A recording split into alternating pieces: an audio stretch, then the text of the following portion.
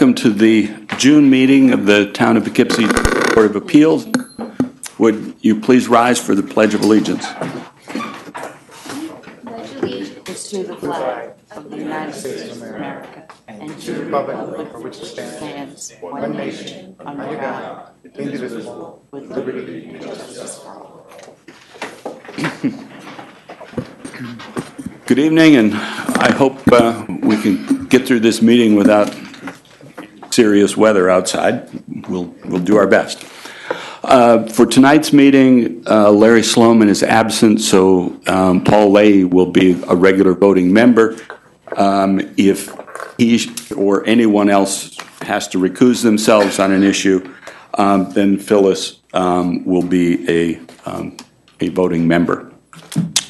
Um, For those that are new to the procedures here, uh, the meeting is divided into two parts. During the first part, we will go through each of the applicants in the order in which they're listed on the agenda, and a copy of the agenda is available at our council's desk.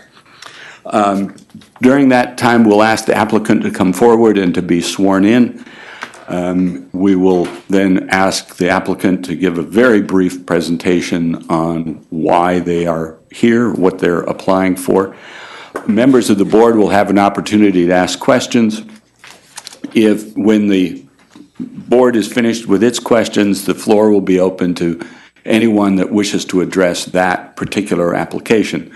Um, I would just remind everybody that all testimony before the ZBA has to be sworn testimony. So if you're going to comment on one of the applications, you'll have to come, identify yourself, and be sworn in.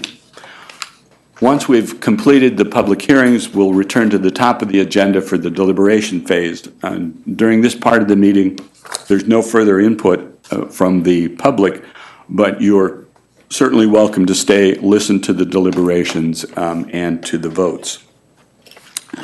Okay. um, Item number one, um, Anthony Leo, 11 Spring Street. And um, here, um, I would just uh, call attention, the board's attention to um, a submission of some materials um, and some maps on um, what Mr. Leo proposes to do at 11 Spring Street, um, and also to a letter that he has uh, submitted just um, explaining that he is in the process of um, gathering up the materials that we have, we have asked for, um, and that he will be um, presenting those to us um, later this month. Um, In view of this, I think it's appropriate that we um, adjourn this matter to our July meeting. Um, I believe that's. July 13th. Yes. So let me um, move that item number one be adjourned to July 13th. Second. All in favor? Well, Aye. Mr. Chairman, it- I would just make one suggestion. This has been going on for quite some time. Yes. And if he's not ready the next time, I would suggest that we close it without prejudice until he actually has stuff to present to us.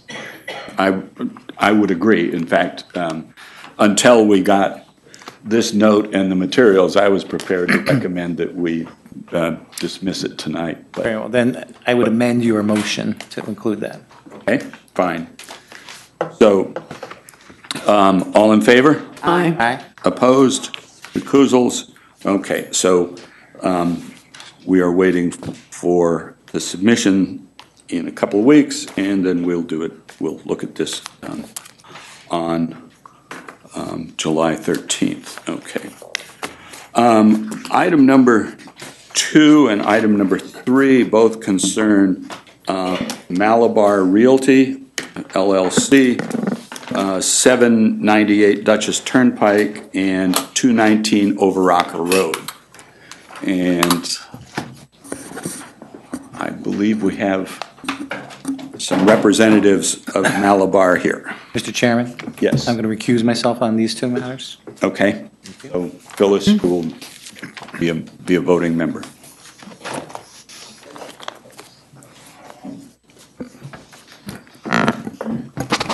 What do you need? Good evening. So if each of you would just state your names for the record. I'm Rich Tompkins with Maury Architects.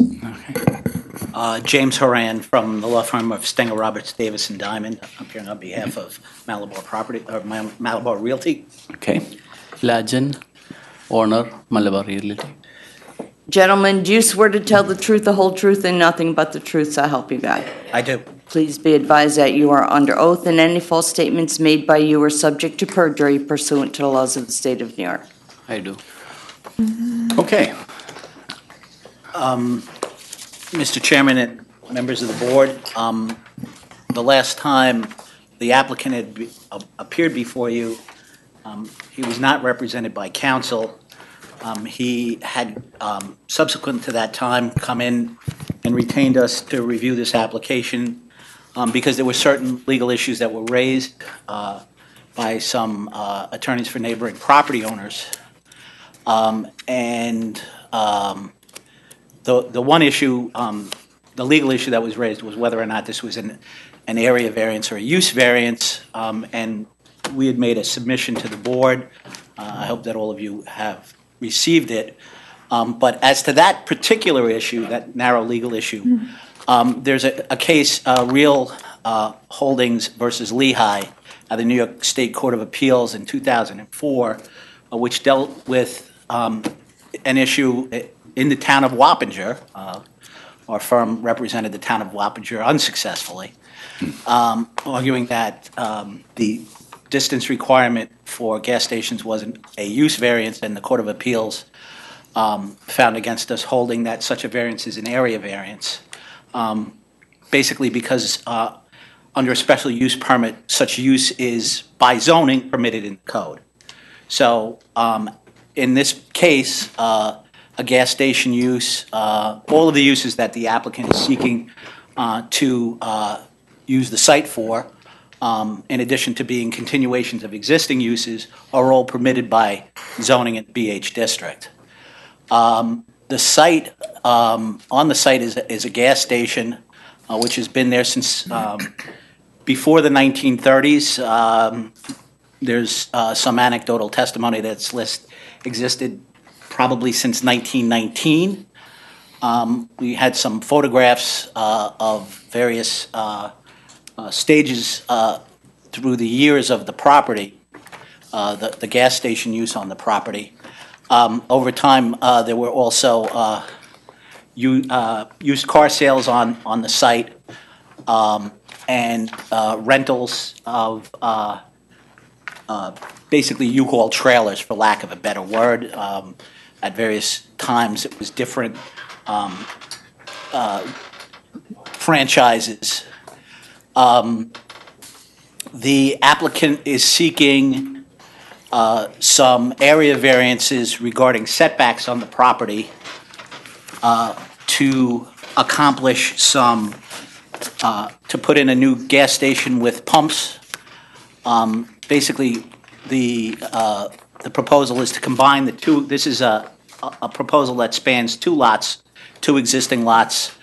Um, On one lot, and if I may, I'll, I'll stand up Yep. and try to speak loudly like a lawyer. Yeah, I think you can take that mic. Um, It just- One of the things that we did since um, the last application, to make it clearer for the board, is to do an existing conditions plan, separate and apart. Um, At the last presentation, we had the existing uh, conditions basically underneath the proposal for development. And because of a lot of the issues that were raised, um, we thought it helpful that the board look and the public see um, exactly what's currently on the site.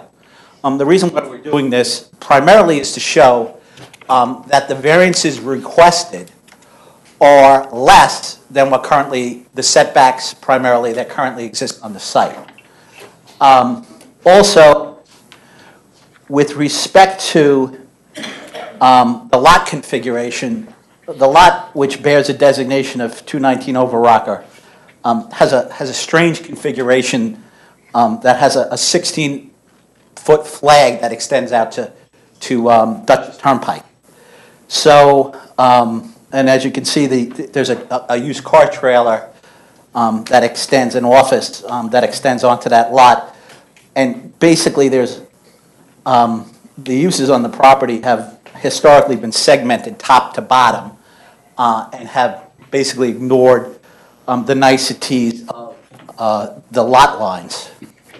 Um, Also, um, to point out, there is an adjacent uh, resident, uh, commercial building in the BH zoning district um, here next to the property. Um, And the only abutting parcel here is residential. Uh, One of the things on the existing, um, on the proposed condition plan, um, it's proposed that the building would not um, extend past, past the uh, the residential line, that in essence, the, um, the building would sim, the, the building would back up on the BH zoning district on the adjoining parcel. Um, One of the other things, uh, so um, on the table here, with respect to um, the existing building, the front yard, the existing garage um, has a front yard, uh, front yard setback to Overocker Road of nine feet, seven inches. Um, The apartment building has a front yard setback of two feet. Um, It's not shown, the dimension's not shown here, but um, there were existing gas station islands which were approximately a foot off the property line. Um, The, um, we're requesting um, for the convenience store, 37-foot front yard um, and a, is it 20-foot on the rear yard?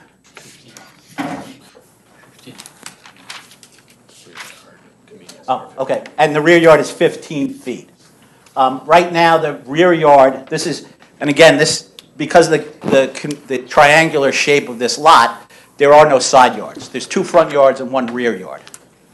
Um, So the rear yard here, the setback on the rear yard for the existing trailer is 10 feet 8 inches, and we're seeking a variance, a setback variance of 15 feet.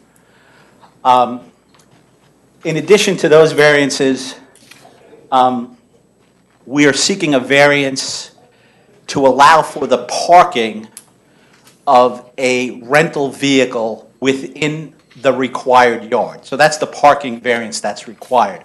Under the, the uh, special use conditions for uh, vehicle rentals, there is a requirement that vehicles cannot be parked in the required yard. Because, as you can see here, this is the area in this lot that's not in required yard. And on this lot, there's a very small triangle that's not in the required yards. Um, The required yards are 40 feet all the way around um, in the BH zone.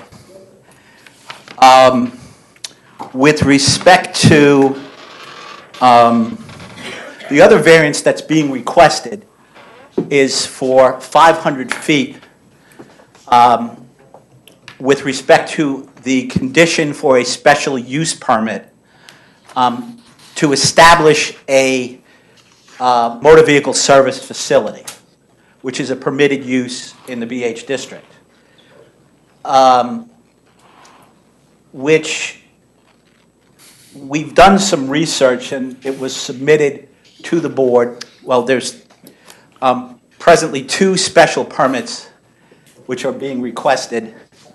A special use permit uh, for the uh, rental of um, vehicles and for motor vehicle service facility. Both of those uses, um, it's our position, have continued um, and have, uh, the motor vehicle service facility, again, has been on the site for many years. Um, There's been some cessation in the sales of gasoline because of a DEC spill. Um, The applicant has uh, cleaned up the property um, under uh, the DEC um, uh, spill closure uh, provisions, and um, has now uh, completed the closure. Uh, DEC has closed out the spill. Um, We're in a position where, should the variances be granted and um, the planning board uh, ap- uh, approves the site plan, we would then put new underground tanks in um, and uh, proceed with construction on the, on the, uh, on the site. Um, With respect to um, the special use permit, again, with respect to the 500 feet, um, there's a, an existing building that's uh, very close. Uh, Going through the conditions, it, it would not have any change in the neighborhood. We're, in essence, looking to continue um, the use that's uh, currently there, um, or at least, in fact, we're, we're reducing some of the uses. Um, It was, the, the site was used uh, as an automobile uh, repair garage. Um, Some of the complaints that have been um, noted, a- a- at least at the last meeting that I reviewed, um, people had complained about the noise of impact wrenches from uh, repair of vehicles at the site. Um, The applicant is not going to continue with a repair garage. It would just be a convenience store um, and a gas pump facility. Um, So those adverse um, impacts would be removed. Uh, The applicant um, is uh, removing the, is not proposing to continue the current uh, use of the property for sale of motor vehicles. So that's a use that would be discontinued. And then also on the top of the garage, since the 1940s, um, there's been billboards. Um, The, in going through our records, we found um, Mr. Marchese, the prior owner of the property, has a- an extensive uh, record of the property that was given to him by the prior owner, Mr. Sparks. And back in the 1940s, the, uh, the prior owner petitioned the town board to amend the zoning code to permit um, billboards in this district. So that's how those billboards got there, and we have a copy of the, the law amending, the ordinance uh, amending the zoning to permit those. Um, I'll get that to Neil so we can uh, see how complicated the, the prior zoning statute is. But, um, so, um, again, the, the applicant is basically proposing uh, to uh, clean up the site, uh, reduce um, the setbacks, um, move, uh, all three of the buildings that are currently, currently existing on the site would be removed. There would be um, one,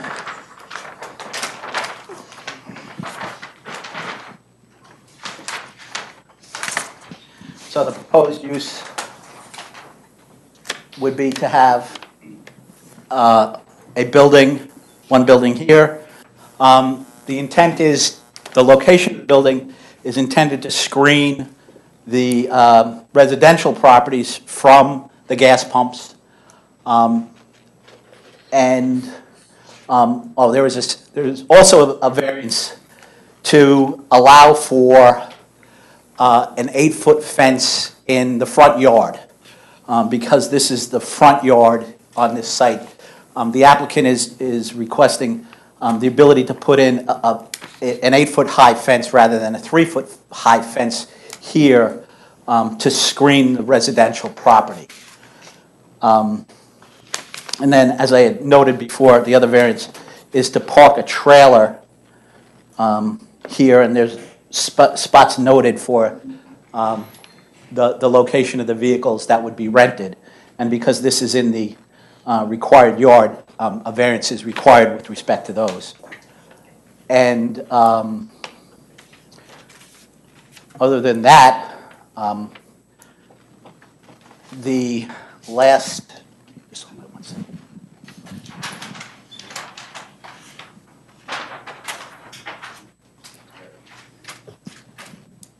Um, Rich Tompkins um, with the applicant had um, done a very good job of um, the architecturals on the site. Uh, Here's a selection of the materials. Um, There's been some presentation to the planning board Um, Should the variance be granted, we'd like to go back to the planning board and obtain any further comments they have and uh, get it moving along. But this is uh, the structure that's proposed, um, the canopy, front elevation and a side elevation. This is basically what would be visible from uh, Route 44, Dutchess Turnpike, and then looking in on the site. So, um, having said that, um, I'd like to keep it cut short so no one gets hit by a tornado. So- Okay. Okay. um, I don't, I don't know if any of the, other other two of you want, have any comments that you want to make? Okay. All right. First of all, let me thank you for, for, for updating us um, on, uh, on this development. Um, And I think, I think it's only fair before I, we, we go much further to say that we've received a letter I'm not sure where it is right now. I, I was just handed it um, just before the, uh, uh, before the meeting from uh, Richard Olson, who uh, represents uh, some of the homeowners. And uh, with, without, without reading the whole letter, I have a conflict this evening and must be in Wallkill. Um, I've just received a copy of the latest submission. I do not have time to review and respond to several of the issues. I, I believe the submission he's talking about is the uh, brief that you submitted uh, that dealt primarily with the issues of the special use permit. Yes. Yeah. Um, And um, I would therefore request that if the board intends to close the public hearing this evening, that I be permitted time to respond to the submission from counsel. Um, And he, he has already submitted um, a a statement and, and I think in, in fairness wants to And, and respond to, to what you did. And um, I, if that's the case, I, I don't want to close the public hearing. Um, I think it, it, it it needs to be kept open um, so that whatever he says can be part of the record, and then if you have a response, that would also be part of the record. And I don't want to do this after a closed public hearing. So I think in view of this, I'm going to, I'm going to recommend that the board adjourn this to the, to the next month. Um, And, um, if, if I, if I may, Mr. yeah, Chairman. yeah, please.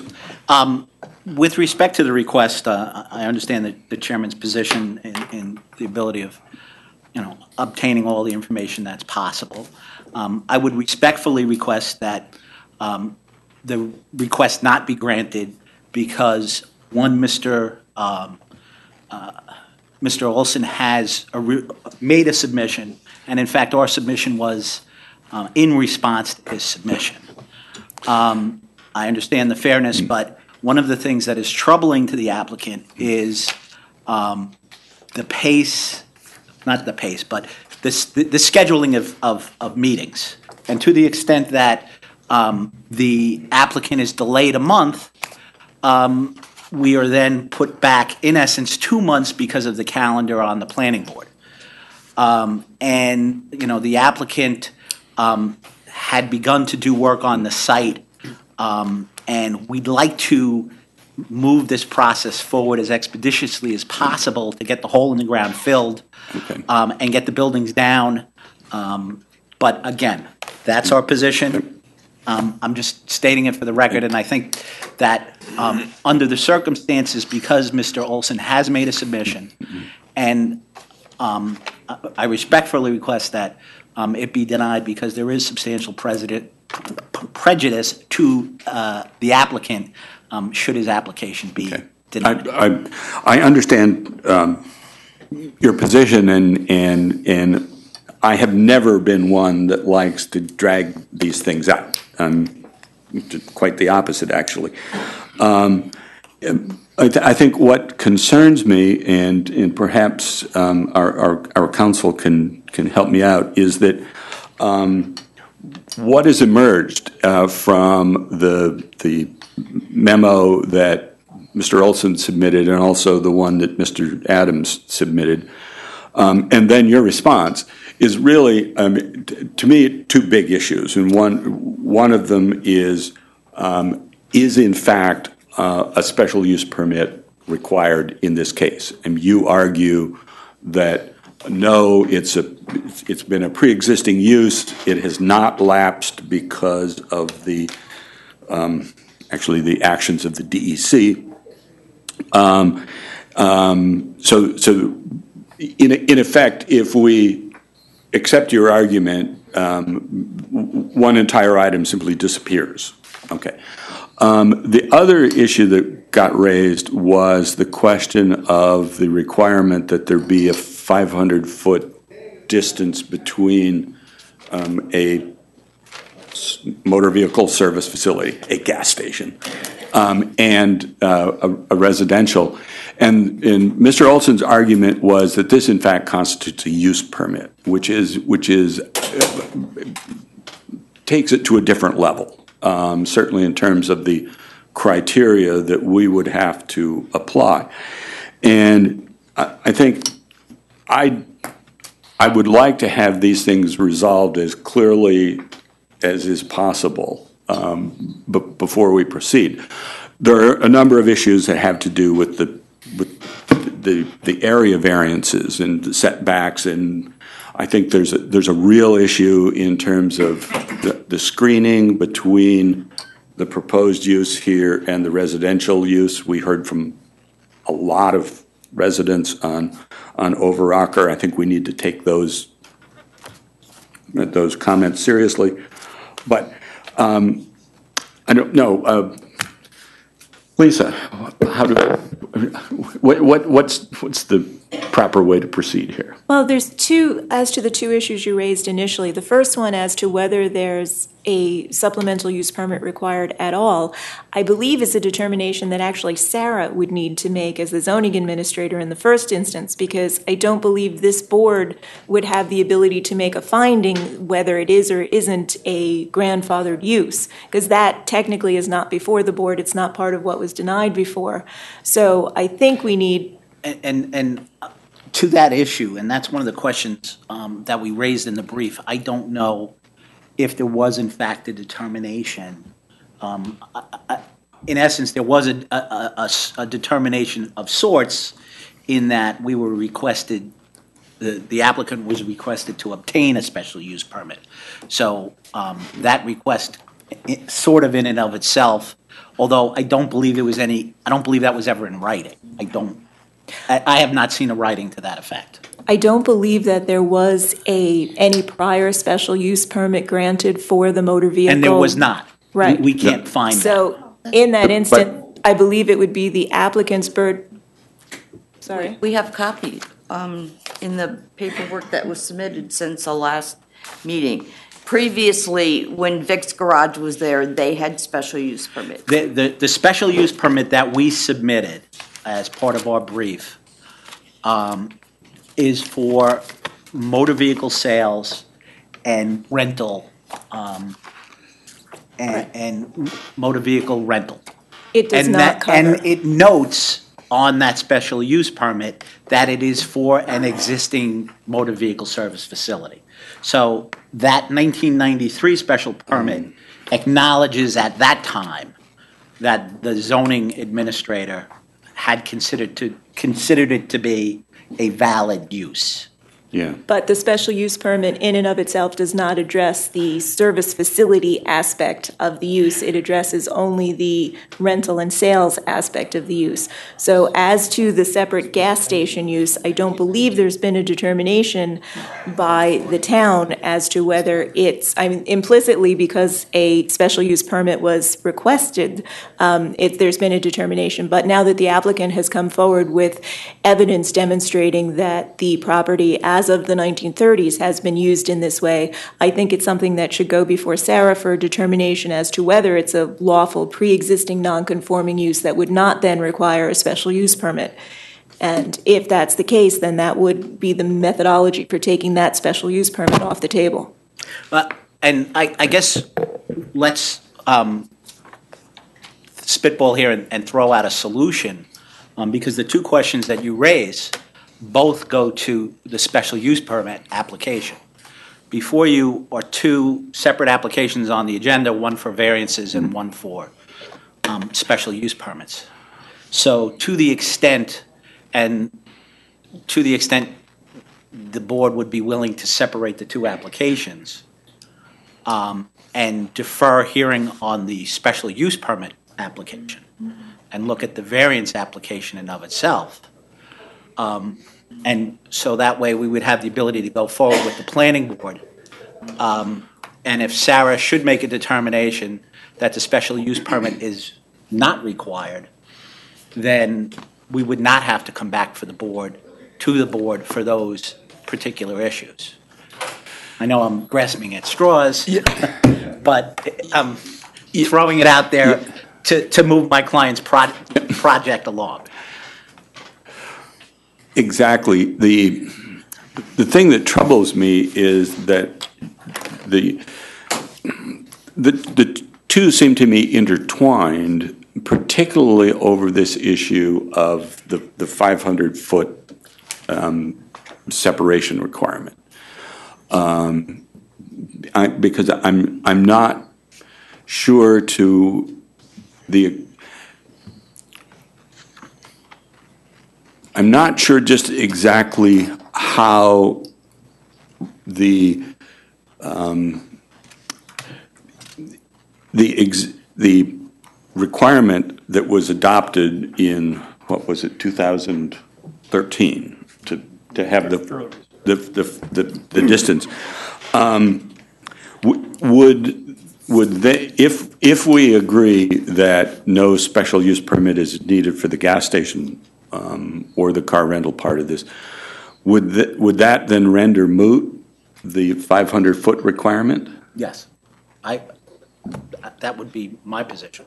I believe that that's the case, um, because I, the 500 feet is a condition of the special permit for a gas station within, in proximity to a residential area. So if the special permit were off the table, then I believe, as I sit here, that that 500 feet would also be off the table.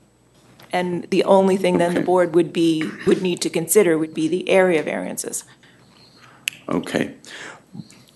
But the 500-foot um, issue is, is, is before us as an area variance under the the item number two Right. or whatever it is.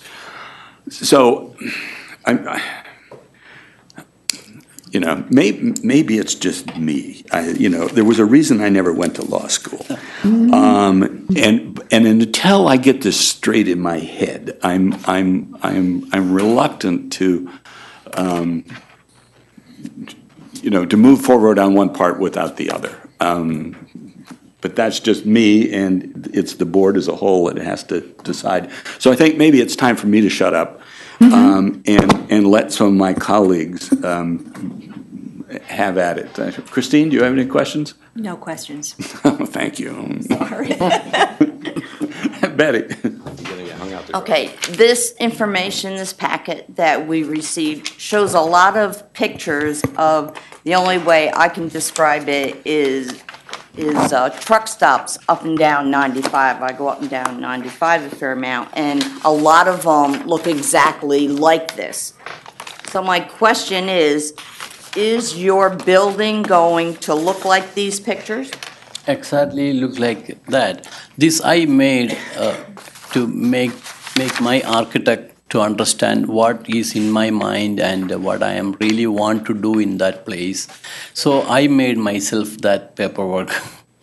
Okay, So- now, the next question is, um, you also put into this packet how, the different things that you were gonna sell, motor oil and cards and Carvel ice cream. Does that, in a lot of stores like this, there are little kiosks, for Or lack of the a part better of the convenience, you know. Yes, are, Yeah. are you gonna lease out little spaces? No, to- no. You also say bakery. Yeah, like bakery items. It's uh, you know while coming back from the job, they can take. All right, so we probably make fresh bakery items in the store itself. But you're not gonna lease out any areas to someone else? No. to- Okay. To we will be operating. Yeah. Um,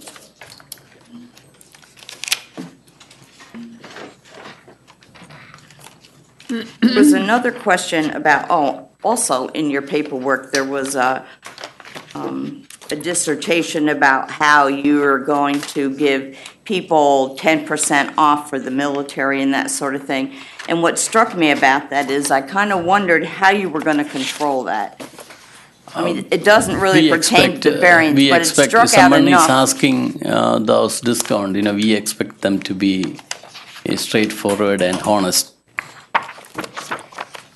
And you were, in- was it the planning board you were at last week? Yes. Yes, all right. And the town board too, Yeah, right? the town board, not the You had a planning busy board, week. yep. Is there, and I don't know why, but my husband seems to think that th- there's one more tank still underground there. Yeah, There yes, is. yes. Over on the 44 side, almost to the mm-hmm. road, Is on Yes, the it's, 44 it's on, it's on the Overocker side, like here. it's on the Overocker side. And that, that, that tank was decommissioned many years ago. Oh, so it by the doesn't prior have to come owner, out. And it's Filled with the filled. sand and gravel, so we tested that whether it is okay to stay there. So DEC permitted us to, you know, stay there itself, so we didn't touch that. So,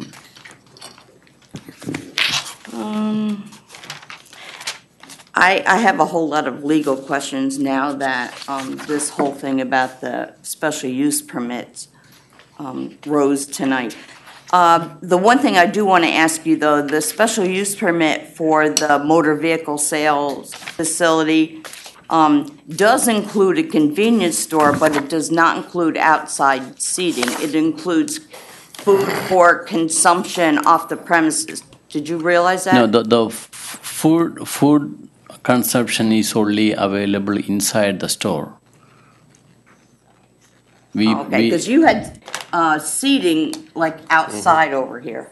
that's just for the summer, you know, people can just sit and relax, that's all, I mean. We are not serving the food anywhere outside. No, I didn't mean serving, but I didn't know if you realize that it says no outside. Um, That the consumption, the food that you sell has to go off the premises. Is that right, Neil? He can have outdoor seating Yeah. provided, he just simply can't provide the service to the outdoor tables. People can bring the, the food out and seat themselves, which is, I think, was what the intent on the site plan. Okay.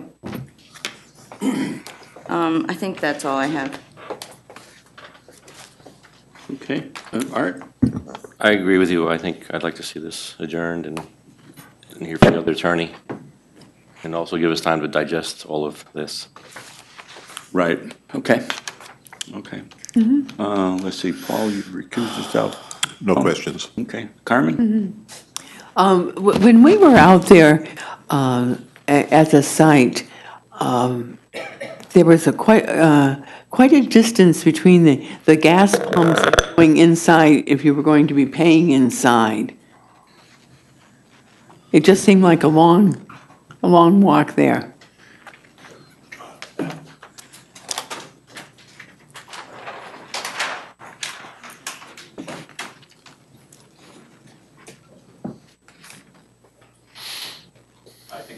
That you're referring to is, is from the front door to the mm-hmm. first pump. Mm-hmm. But that, that's established by the depth of the parking space and then the required backup for a two-lane driveway. Mm-hmm. So that, that's actually at the, basically the minimum that we could be. Again, it's an odd configuration of a site. If we had a Yes, I square understand lot, that. This, this obviously would be rotated in Right. parallel with the building, but because of the odd-shaped mm. lot, this has to go on an angle. Yeah.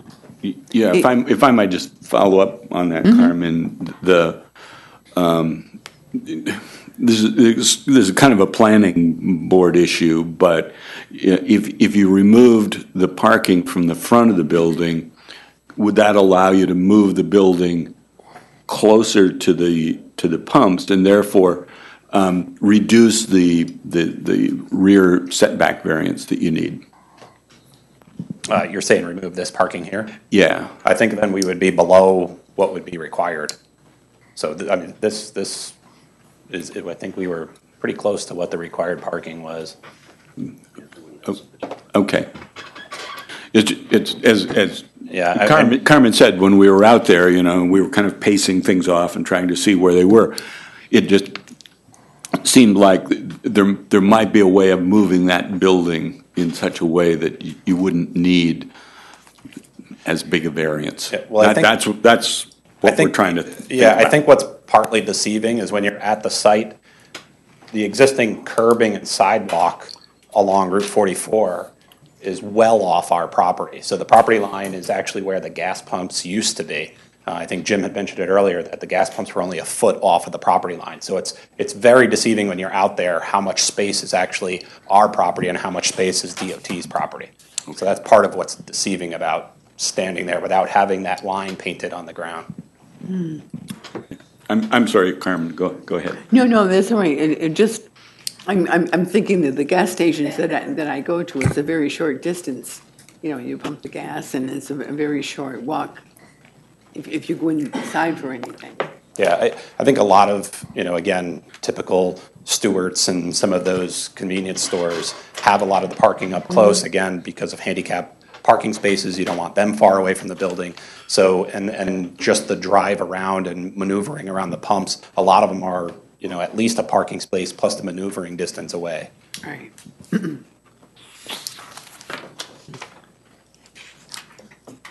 Now, uh, you- you- you're proposing an eight-foot fence?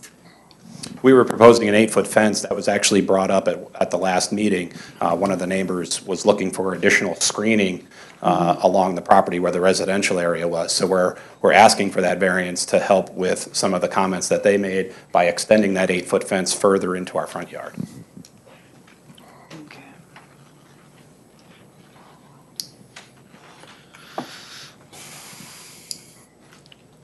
I don't have any further questions right now. Phyllis? Thank you. Um, yeah. You're gonna be renting cars? I, I think um, you're going to have to share, oh, Mike, there, thank You're you. gonna be renting cars from this location as well? No, we have four U-Haul rentals. So it'd be moving vehicles, vans, trucks. And the gentleman indicated he's gonna establish a bakery?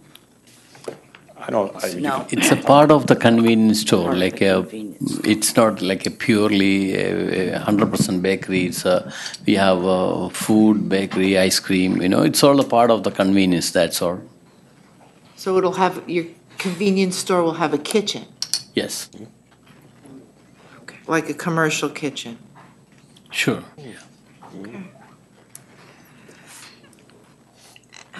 And you're gonna have an electronic sign in the front that's gonna talk about the, the weather and time as well as your pricing? Yes. With the time, time, weather, uh, I, th- okay, okay. I thought there was limitation There is. on. There is. It's outside. Applies, you can put it in. Okay. Okay. All right, and then I would like to hear what the other attorney has to say also. I think that Okay. we've come this far. Yeah. okay. Everybody should be heard. Yeah, um, okay, uh, I, I, I- for, just for clarification, tell us again what it is you feel that you can't do right away if we, if we adjourn this till next month. I mean, what is, aside from the fact that I know the town is involved with the building and the hole that's there.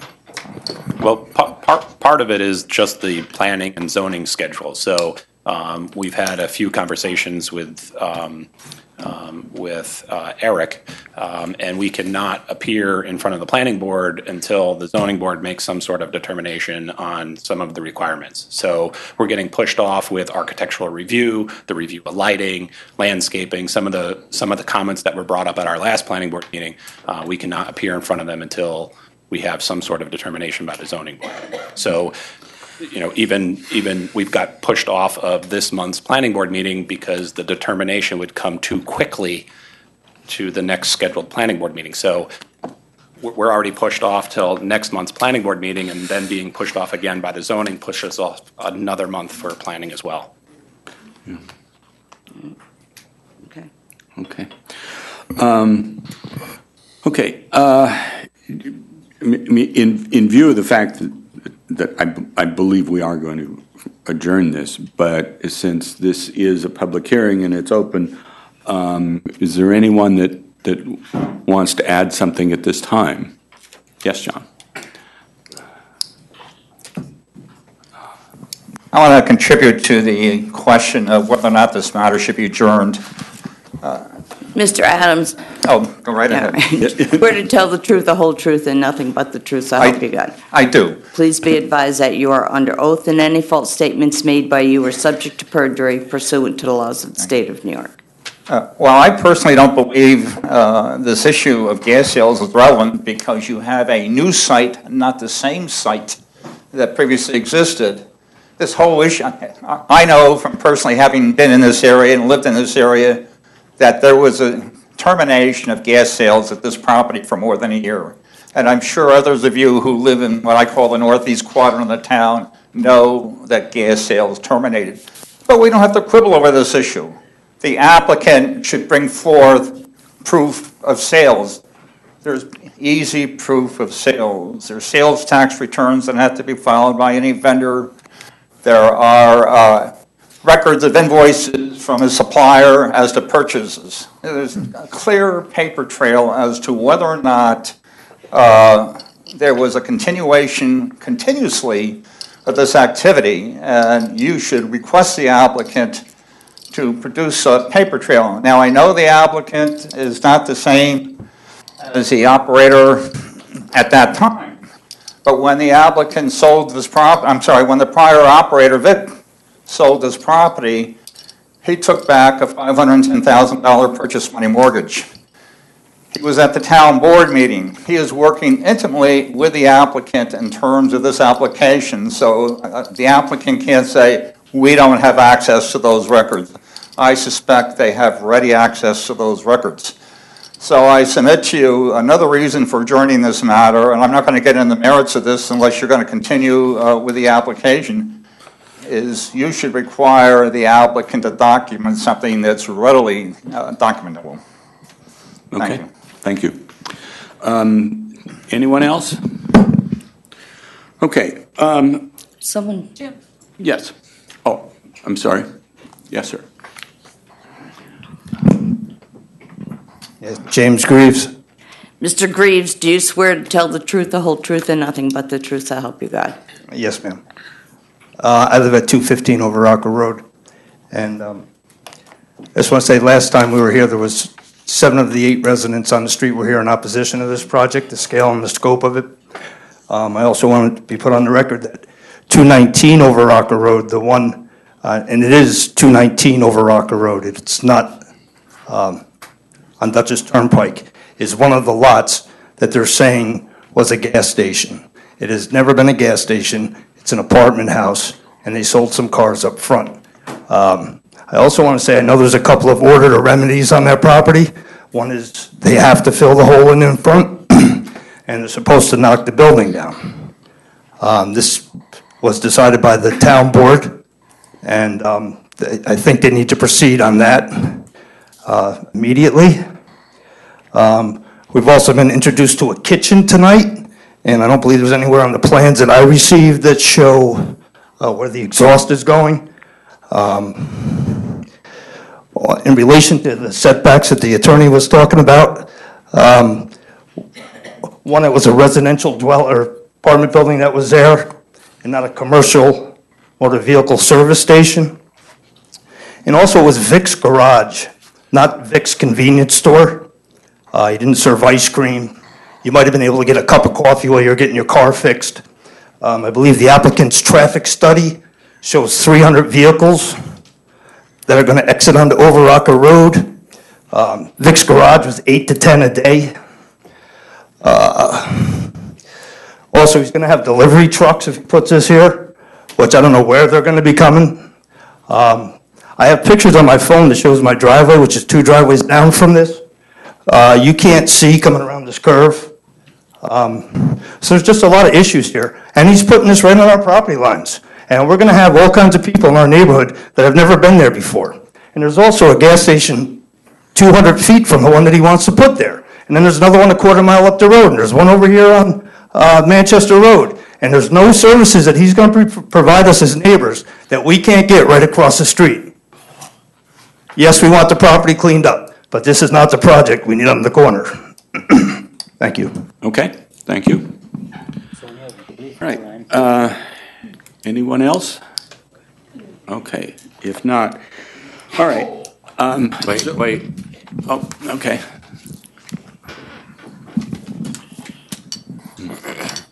Last name Stengel, first name Roy, 217 Overocker. Mr. Stengel, do you swear to tell the truth, the whole truth, and nothing but the I truth, do. so help you God? I do. Um, Need that, that 25 feet, 30-foot buffer. Um, The commercial property in back of me used to be owned by Bruce Pels, God rest his soul. He uh, sold the property. Make a long story short, I had four refrigeration compressors constantly, um, um, um, 150 feet from my bedroom. Not the noise, but the vibrations that come through the ground and up through my foundation. Um, The compressors are a big thing, the setback, and my bedroom is 30 feet from the line. Uh, Propane, 20 feet, so that's 50 feet propane tanks. Uh, So there's a few things. Um, Again, the traffic, uh, we had, uh, uh, you folks, or you folks uh, said that they did a study and uh, the traffic accidents were minimal. After that meeting, sitting in my backyard and I heard a horrendous crash. Uh, Traffic was diverted for an hour down through Overocker. It was backed up from that intersection of Overlook and Overocker for hours, uh, all the way to the 44 intersection. Um, There's no way to make a left-hand turn. That accident uh, just reinstated that uh, every time I pass Dunkin' Donuts, there's a no right-hand turn. There's people waiting for the lefty, waiting to go left. That's westbound on 44. So, you know, there's, there's some issues, but uh, hopefully we can resolve them peacefully and uh, come to a good conclusion. I'm not against it, it's just few things. So, Okay. thank you. for your Thank time. you. Okay. Yeah, yeah, make it, One other thing. make it brief, please. In relation to the, uh, the gas station pumping gas, I know last summer for a fact they weren't pumping gas. I'm also a certified state backflow prevention tester, and I did the inspections at Vic's Garage. Uh, When I went there a year ago, January, he declined the test. When I went there uh, the year before, they declined the test, and at that time, they were not pumping gas at that gas station. Okay. I mean, Vic's Garage, it wasn't a gas station. Okay. Uh, All right, so um, I think the, the the main issue in front of us um, is whether or not we, we wish to adjourn this, and if, it- I mean, I get a sense that people are saying yes, that, um, and um, so I, I move that the ZBA um, adjourn items number two and three to our meeting of July 13th uh, for the following purposes. Uh, One, uh, to request uh, Sarah Davis to make a determination um, based on any evidence that the um, applicant may wish to um, give her um, on whether or not um, th- there has been um, a lapse in the use of this property as a motor vehicle service facility, and if so, whether or not a um, special use permit would be required um, in, in this case. Um, And the second uh, purpose for um, adjourning the um, our our deliberations or, and and adjourning the public hearing is to permit um, Mr. Olson to um, submit whatever materials um, he wishes um, to us. Um, I'm, I'm hopeful that if we can get those two things accomplished, um, I want very much to resolve this matter at the, at the July meeting. So um, I would urge everybody in, involved, if they're going to submit things to the ZBA, to do it um, not at the last minute. We frankly don't have time to read and think about things on the same day of the meeting. Um, Yeah, so um, the, uh, the deadline for submitting things uh, is uh, June 25th, so if, if people could if- meet that deadline, um, so that we have time um, and our attorney has time to look these over and, and she can give us, you know, whatever advice. There's, um, in the briefs, there've been a number of different legal cases that have been cited. I don't feel confident to um, review what those cases are and, and, uh, you know, whether they're relevant to, to this issue or not. But I'd like to have time for her to, to, to to do that. Okay, so, um, so move. Second. Okay, um, all in favor of adjourning, um, items number two and three to July 13th? All in favor? Aye. Opposed? And there's one recusal. Okay. All right. Well, I'm sorry we can't resolve this quicker, but we hope to dissolve, resolve it correctly. Okay. Thank you. We'll we'll be in touch to get some, whatever information Sarah needs. That would be, that would be good. Thank you. Okay. That's good to know. Okay, um, item number four, James and Kelly Tremper, 7 James Street.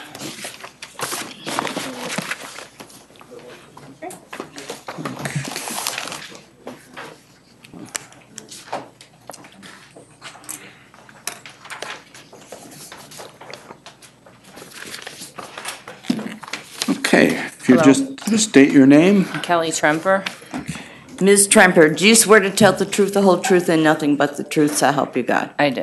Please be advised that you are under oath and any false statements made by you are subject to perjury pursuant to the laws of the state of New York. Yes. Okay. Um, So just briefly, what, why, why are you here? I'm here because we had a pool deck. Uh, we bought the house in 1991. The pool deck was there. And over the years, it deteriorated. Um, and this past winter did it in, and it started collapsing. It was in very bad shape. So we had to tear it down, and we want to put a new one up. Okay. Christine? No questions. Is the new one in exactly the same footprint as the one that you, was there previously? We would like to move it over a couple of feet. The old one faced our neighbor's house kind of that way. We were always looking at them on their back porch, and we'd like to make it straight on so it faces directly the back of our house, You just kind I- of slide it around a little bit. just a little bit. I have no other questions. Art? No questions. Um, And I presume the reason you're putting it in the same place is you're probably going to use, what, some of the same foundations and, No, we, my husband was gonna put in new founda, new footings. okay. It's actually in a slightly different location, but very close to where the original one. Okay. Uh, Paul? Does the, the new deck, is that about the same distance from the lot line as the old deck was? It would be, actually, it would be a little further away from the back line because it's gonna be straight on, hopefully, and not tilted. Okay, thank you. Tony? No questions. Carmen?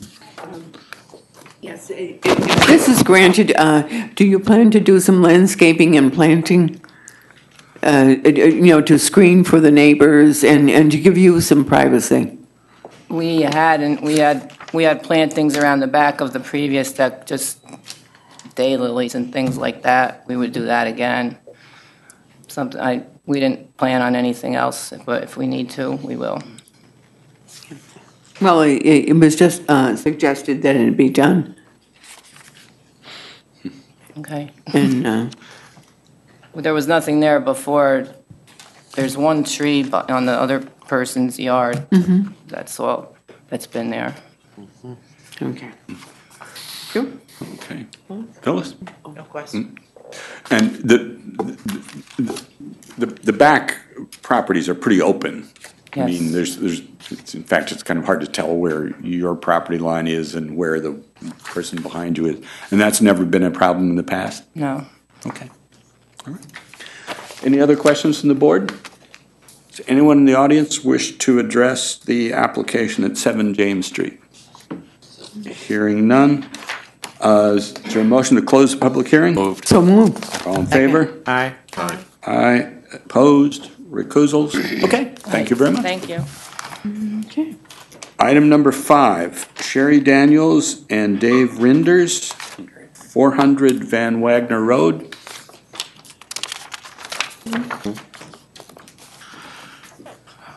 Good evening, folks. Good evening. So if you'd each state your name for the record. I'm Sherry Daniels. I'm Dave Reinders.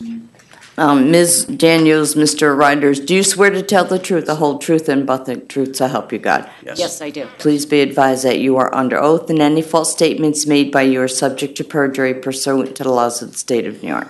Understood. Okay, so just briefly, what are you planning to do? We would like uh, area variance for a sh- garden shed in the front of our house. We have an irregular lot, and basically the house sits on the lot line on the back. And we have, our land is sloped, and we have problems with drainage and wetness, so we really have no other place to put the shed. And we'd like to put it on the existing foundation of an old pump house we have. And um, we've had thefts over the years. We've lived there 20 years, and we've had lots of thefts reported to the police and everything like that. So we do need to keep everything locked up. And I do have a letter from the neighbor right across the street. I have seven copies of that, which is visible. They're the neighbors right across that would be looking at it, and it would be mm-hmm. visible from their front door. So they wrote us a letter after they got the letter from the town stating that that was going on. Okay, sure. If you just um, hand those to our counsel and she'll pass them around and we'll, we'll just make that part of the, part of the record. Okay, thank you very much. Um, Okay, and um, I would just point out that you're, you're in a situation where you're on a corner, so there are two front yards. Yes. Okay. Um, Christine, any questions? I had a, a good view of everything when we were there. I think I don't have any questions right now. Okay. Okay. Um, Let let me just uh, read this into the record. Um, We are Thomas and W- Waltraud uh, Farrell, and we reside at 401 Van Wagner Road, directly across the street from Dave Rinders and Sherry Daniels at 400 Van Wagner Road. We are aware of their plans to erect a structure in the front of their yard, in front of their house, and we have absolutely no objection. Signed, June 6, 2015. Okay. Thank you. Um, Okay, Betty? Um, where you plan to put that, the bushes that you have there right now are pretty big and pretty high. But I do know that when I go up the hill and around the corner, they're not in my way at all. So my question to you is, is the shed gonna be any higher than Then those? those bushes, yes, because the bushes only are about three and a half feet tall. Oh, so Oh, it the seemed like they were. Yeah. Mm. The forsythia that are? Yeah, two were right young. next- No, no, Yeah, the they're one- the leaning two- down. No, no, the two next to. To the well house. The well Yeah. house. Well pit, yeah. They're pretty high. They're about four feet tall. One of them's being ripped out. The other one may be ripped out. The one closer to our house side, not the roadside. The one closer to the roadside is being removed. To accommodate the the And I landlord. think it's only like four and a half feet. I trim Max. them. So, yeah, I trim them this Yeah. way. So they're only like four and a half feet tall. And, and how high is the shed? Probably going to be about nine feet, just enough to get headroom in and a peak on it so the rain comes off it. We are, Too damn big to get this. we are, what are we, 12? Oh, no, we're off of, on Van Wagner Road, we're Uh, it's off Van Wagner Road, we're 60 feet, 20 feet from, no, 20 feet from Van Wagner, 60 feet from Hornbeck. So We're we are gonna be set offset. back, we're tight to the driveway. Um, And we do have a big, huge tree there already on that corner, a big locust A tree. locust tree, yeah. So that trunk blocks your uh, vision anyway, going through there. And we try to keep the trim, the bushes trimmed there to three and a half feet, especially on that corner, because it's a very wide intersection. Our driveway kind of goes into the intersection, Mm-hmm. and it's very, people don't stop all the time. So it's very hard to see there, and we do realize that, and we try to keep it as clean as possible. Yeah, okay. Art? No, the only question was the line of sight, but I think we'll be okay. I think there's enough room on that turn. Yeah. Yeah, no, I think the sightline, I don't, I don't think the shed's going to be in the way of anything like that. Um, I I guess, uh, when, when we were out there, we noticed, you know, way in the back of your property, there's stuff. I'm not even sure what. Is the The shed? trailers, is- yes. Is the shed going to help you kind of clean things up a little bit? Yes, In a big and way. and especially by our garage. We want to get everything so it's like not seen and neat. Can't see it, they don't steal it. And that's a bad intersection for that. We've had five serious robberies, well over seventy-five thousand dollars worth of, ma- you know, just Tools, material. in the trucks, out of the trucks, four-wheelers, so. Okay. Okay. Um, Paul? Yeah, the, the shed that you describe is, is bigger than, the footprint is bigger than the Mhm. concrete foundation of the well. Yes. So how are you going to build that on top of? We are going to put in footings and go by the um, town of Poughkeepsie. uh, We're gonna, I'm gonna have department. arch- architectural drawings made, stamped off, and brought down to uh, Tim Sickles. So you're not going to put it on the foundation? It's, it's gonna be hovering over top of it and, and partial use of that foundation. Do you have a description of the shed, a, a drawing, a No, I, we didn't picture? get that far because uh, I have to make it to where it's gonna match the property, the house, as we did the carriage house, the garage, because I want it to look like it belongs there as well.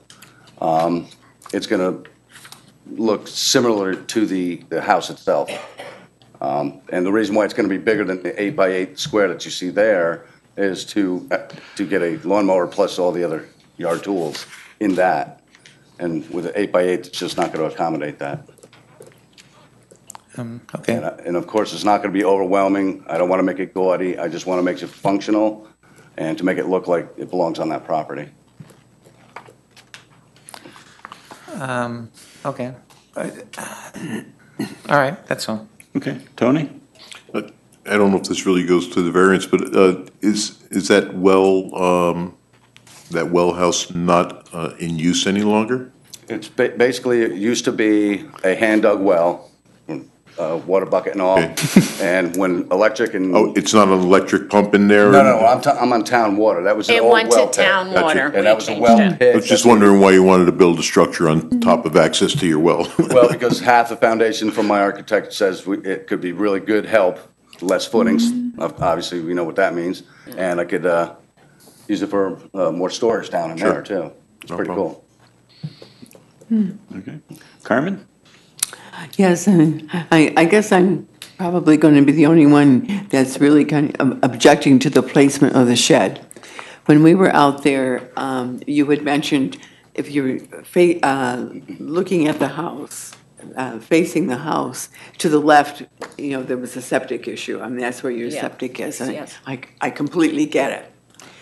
On, to the right of the house, you- you said it is kind of wet, but you know, we'd had a couple days of rain and we were up there and it, it, it- it didn't seem like water had pooled there. Uh, You mean the right of the garage, the carriage house? Yes, yeah. If you went and walked on it, it We- would we- be. we did. Extremely wet. Over in the corner by uh, where we park, in the driveway, Yeah. to the right Yes, of the On the driveway. Hornbeck Road side, yeah. it- it No. gets- It was- it- That- that uh, The gets- water didn't appear to have, uh, to have pooled there.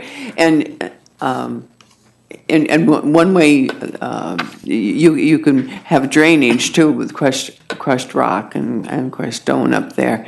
Um, I, I would just uh, like to see it uh, uh, placed in a different spot on your property because this is a very large shed. and it's also very close to the road. And when you're driving along, this is what you're going to see, is the shed first. And you, you can't do too much to, to uh, camouflage it with plantings be- because. No, that- I that- wouldn't want to camouflage it. I would want it to look like the, the carriage shed, house. the carriage shed. Because when you drive and on the intersection, that's what you see first, is the carriage shed. The house is kind, of set over to the side, more to the wood side. Mhm. So I'd want it to match like the old style house it is. Right. So the, the shed, I, I know it's kind of sticking out there, but it's not any bigger than a vehicle. That's gonna be sitting there in, in the Mhm. driveway. And it does get very wet on the other sides. We've had the highway department out, we've had, we've tried everything, we've put drainage around our house, and we still have problems. We have that farmer's drain that runs from one end all the way to the other, the Mhm. swale. And it, when we get real rain, unlike we've been really dry and then we've getting rained, we actually have a stream coming down underneath our back porch. Mhm. That's how much water comes through. Right. Yeah. And we get water in our basement. We, it is a big Well, problem the- on the- that property. Right. There's a reason it's, it's in the code, because I, I think, um, we, we have uh, granted variances in, in the past uh, for, for for sheds on property, but the placement was very different, or there was a good, there was uh, some, some kind of screening or, or camouflage for it. And um, I just wouldn't want to set a precedent that we could have a shed that is that close to the road and that large. And um,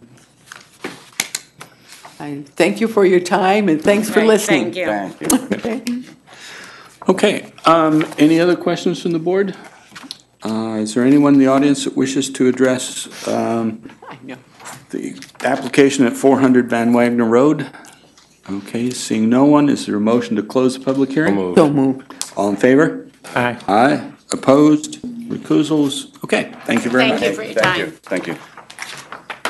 Um, Item number six, uh, Danny Bush and Kimberly um, Valentine, 140 Bedell Road.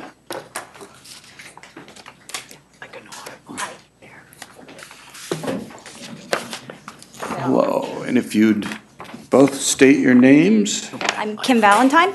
Dan Bush? Uh, Ms. Valentine, Mr. Bush, do you swear to tell the truth, the whole truth, and nothing but the truth, so help you God? Yes.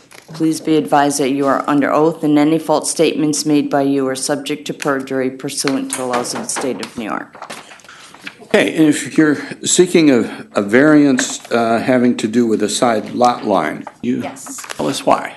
Um, Well, we didn't know there was a problem until we were going through the process of getting everything set for our building permits, that it was denied by zoning.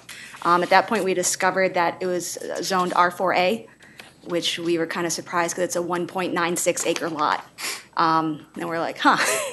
So we decided to try to originally, at that point, try to put the house where it would fit to follow all the protocols for that. And due to the fact there's a wetland buffer that goes basically halfway through the lot, and there was literally one spot we could put it, which was in the very low spot in the very back of the yard. Um, Everything was approved for that, so we went to the land with our builder and our architect to decide exactly where it was gonna go. Then we went, uh-oh, um, and realized that it's literally sitting very far back. They would have to put about six to eight feet of fill to make so the garage and the driveway would be level to the house. Um, one thing I didn't put in, um, one of the reasons that we designed this house is um, I have medical need that I might be in a wheelchair at some point in the future, so we wanted to make sure that the garage would be able to have a ramp put in at some point. So we would need to have that elevated. So we are kind of like, uh, maybe we should think about putting in a variance. Um, Because the way the lot is, where the house would be placed to follow this code would be about eight, six to eight feet below the level of the land in front of us. So, so we basically had like three options. We could fill in that low spot. Um, It would be a lot of fill, and there would probably be about a six to eight foot retaining wall for the driveway, and that would literally go right against the property line. And we kind of think that wouldn't be an ideal situation. Um, The other two options were to regrade the entire front lot and literally chop down eight feet. And we didn't really like that idea. And the other one was to come here and put in a variance to move the house over. Um, The other thing we're looking at, if it was zoned according to the size of the lot, um, it would be a 30-foot setback on the side instead of the 50-foot, and we're asking for a 32-foot setback. So if it was zoned the R1.5A, we would be not here tonight. Okay. So that's about it. So, i- i- long and short of it is, you want to locate the house 32 feet from the side lot line, and the code says 50? Correct. Okay. Uh, Christine? No questions. Betty? I have no question. Art? No questions. Okay. Paul? Yeah, how big is the house? Uh, It's 2,588 feet. And it's one story?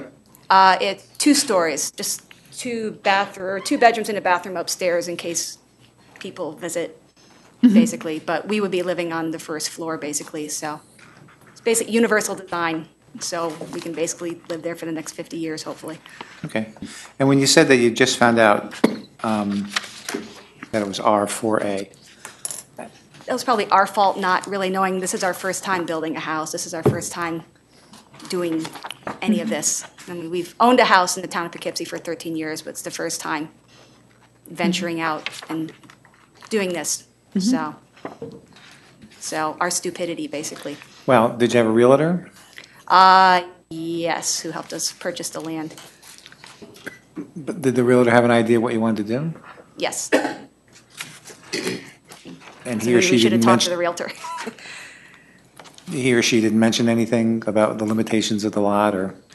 Um, just about the, this wetland buffer, which we knew about. prior This to was purchase. originally part of a subdivision as well, and there were plans already on file with the town Mhm. for that subdivision. And those setbacks weren't what it was on, what it actually turned out to be, so we were kind of going by those old plans as well. Yep. And with all the restrictions on the deed as far as easements and everything, we were trying to make sure we followed the protocols for all that. For example, the side entry garage was one of the requirements. So if that wasn't a problem, this wouldn't have been an issue either, having to have, you know, have a front access instead of the side. But Oh, so is it because you're trying to satisfy the limitations deed that you need the garage set- situated that way? Actually, the garage would- wouldn't be much smaller if we did a front load. The driveway wouldn't be going along the property line, but the, the house would still lay pretty much where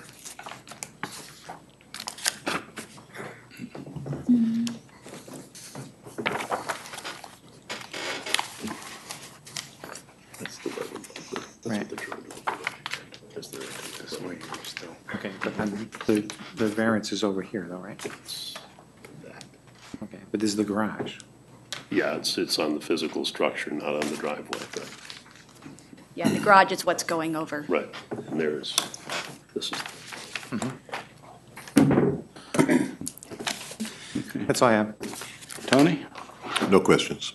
Carmen? I don't have any questions except uh, uh, you you must be seeing a lot of wildlife out there. Well, we are over in Spackenkill. We see plenty of wildlife right now too, with the deer walking down the street and eating my Right. hostas. So we're, we're used to the wildlife. Okay, yeah. Actually, actually, today, the- a a bear was seen on the Vassar campus. Yeah, Um, I heard that. Um, No, no, no further questions. Phyllis? No questions. Okay.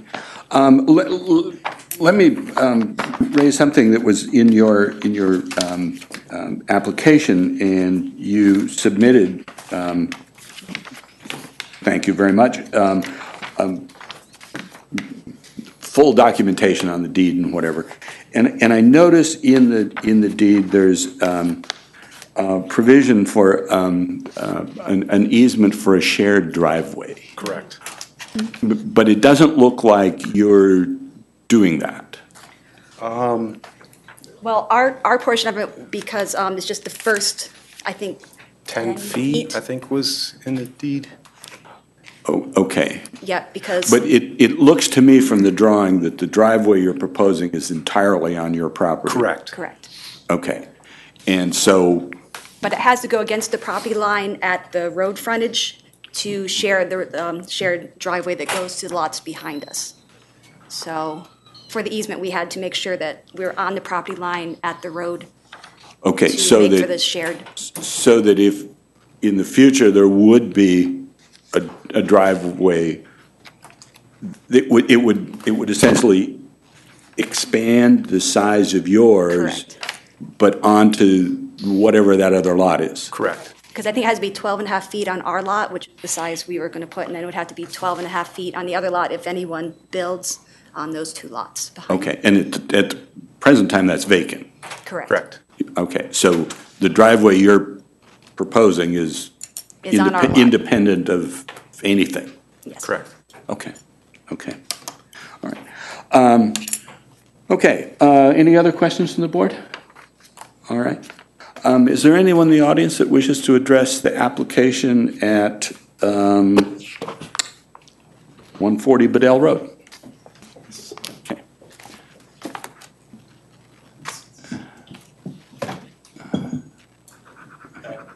And your name, sir? Good evening, Michael Caruso of William Schilling Jr. PC, 122 Old Route 6, Carmel, New York.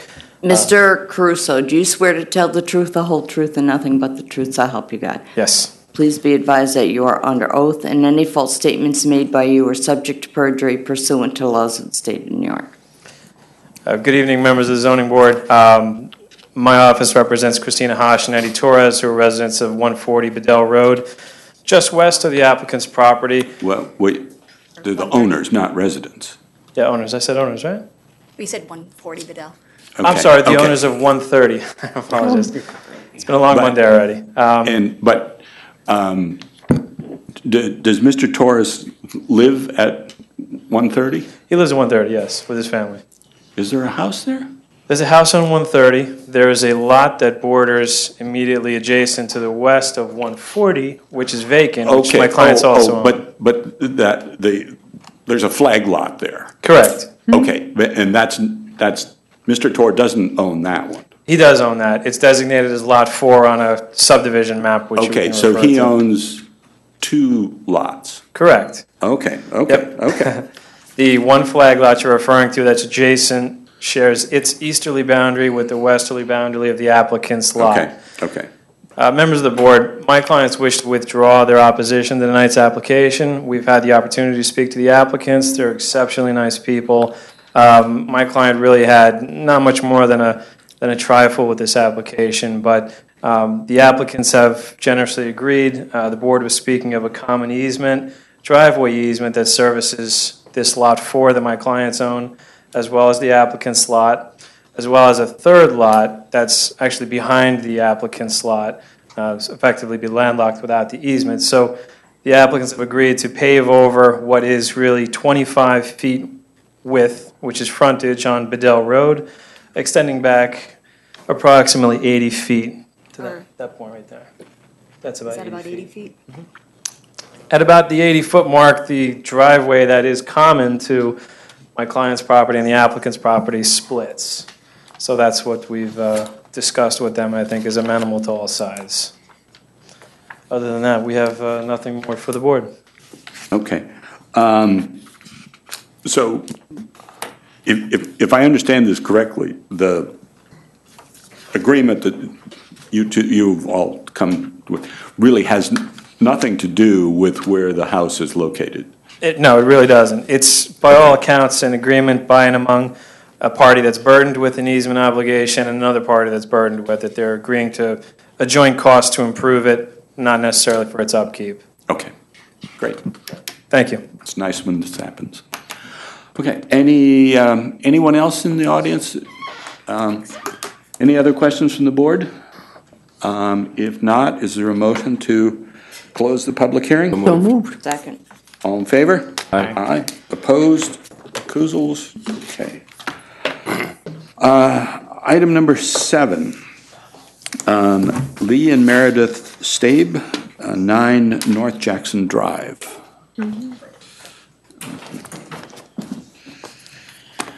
Okay, just Hello. state your name, Uh, please. My name is Rich Galbraith with uh, Soul Providers. We are the uh, solar contractor for this, uh, for this variance. Mr. Galbraith, do you swear to tell the truth, the whole truth, and nothing but the truth, so help you God? I do. Please be advised that you are under oath and any false statements made by you are subject to perjury pursuant to the laws of the state of New York. Okay, so uh, could you just briefly uh, describe what the, what the project is and uh, what the nature of the variance is? We are looking to put uh, three different solar arrays on um, Mr. Stabe's house. Um, About three months ago, this would have uh, been just fine in the town. And uh, then April 1st came, we had sold the project in the beginning of March. Um, We now try to design every project so we don't have to do this, um, but this one was already previously sold. Um, So uh, there is, we, we did it as best we could after finding this out to make sure that we had all the, all the setbacks that we needed. Um, But there is some spaces that were taken up, you know, it's one point four feet from, or one foot four inches from one of the ridges, um, and in a few sections, either the east or west side is closer than the three foot. Um, But there is, for the most part, on all of the arrays, at least a three foot on two sides. Okay. Um, Okay, um, Christine, any questions? No, not at the moment, thank you.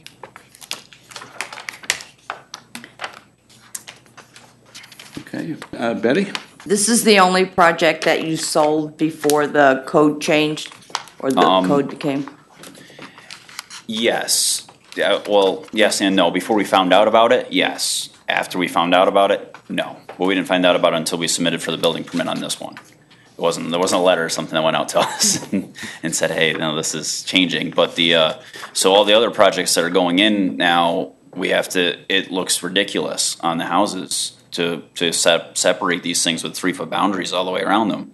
We're putting, trying, gonna try to put twelve panels up in, up on Spackenkill, and they got four different roof spaces we have to use instead of one to keep, to get the boundaries. And it's ridiculous to put two panels, you know, in the middle of a roof, you know, cutting off about sixty percent of usable rooftop space.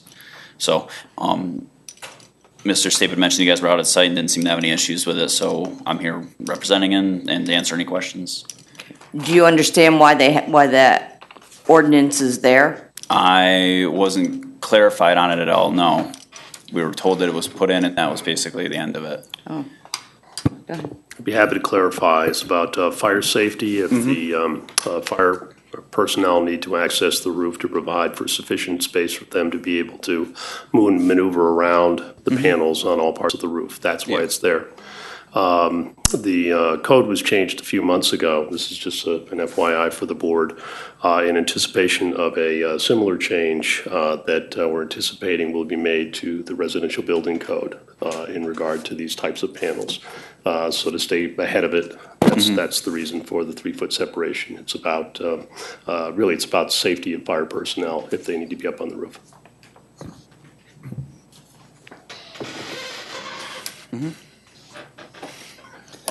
Um, you- You're done? Okay, all right.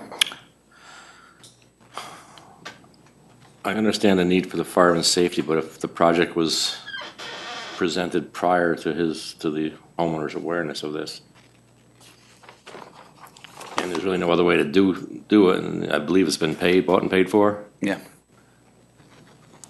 uh, I'm not against allowing it to continue. I mean, if you look at the house two down, I'm not sure that was ever inspected. That looks closer than three feet from the um, edge of the roof as well, to the right of this house.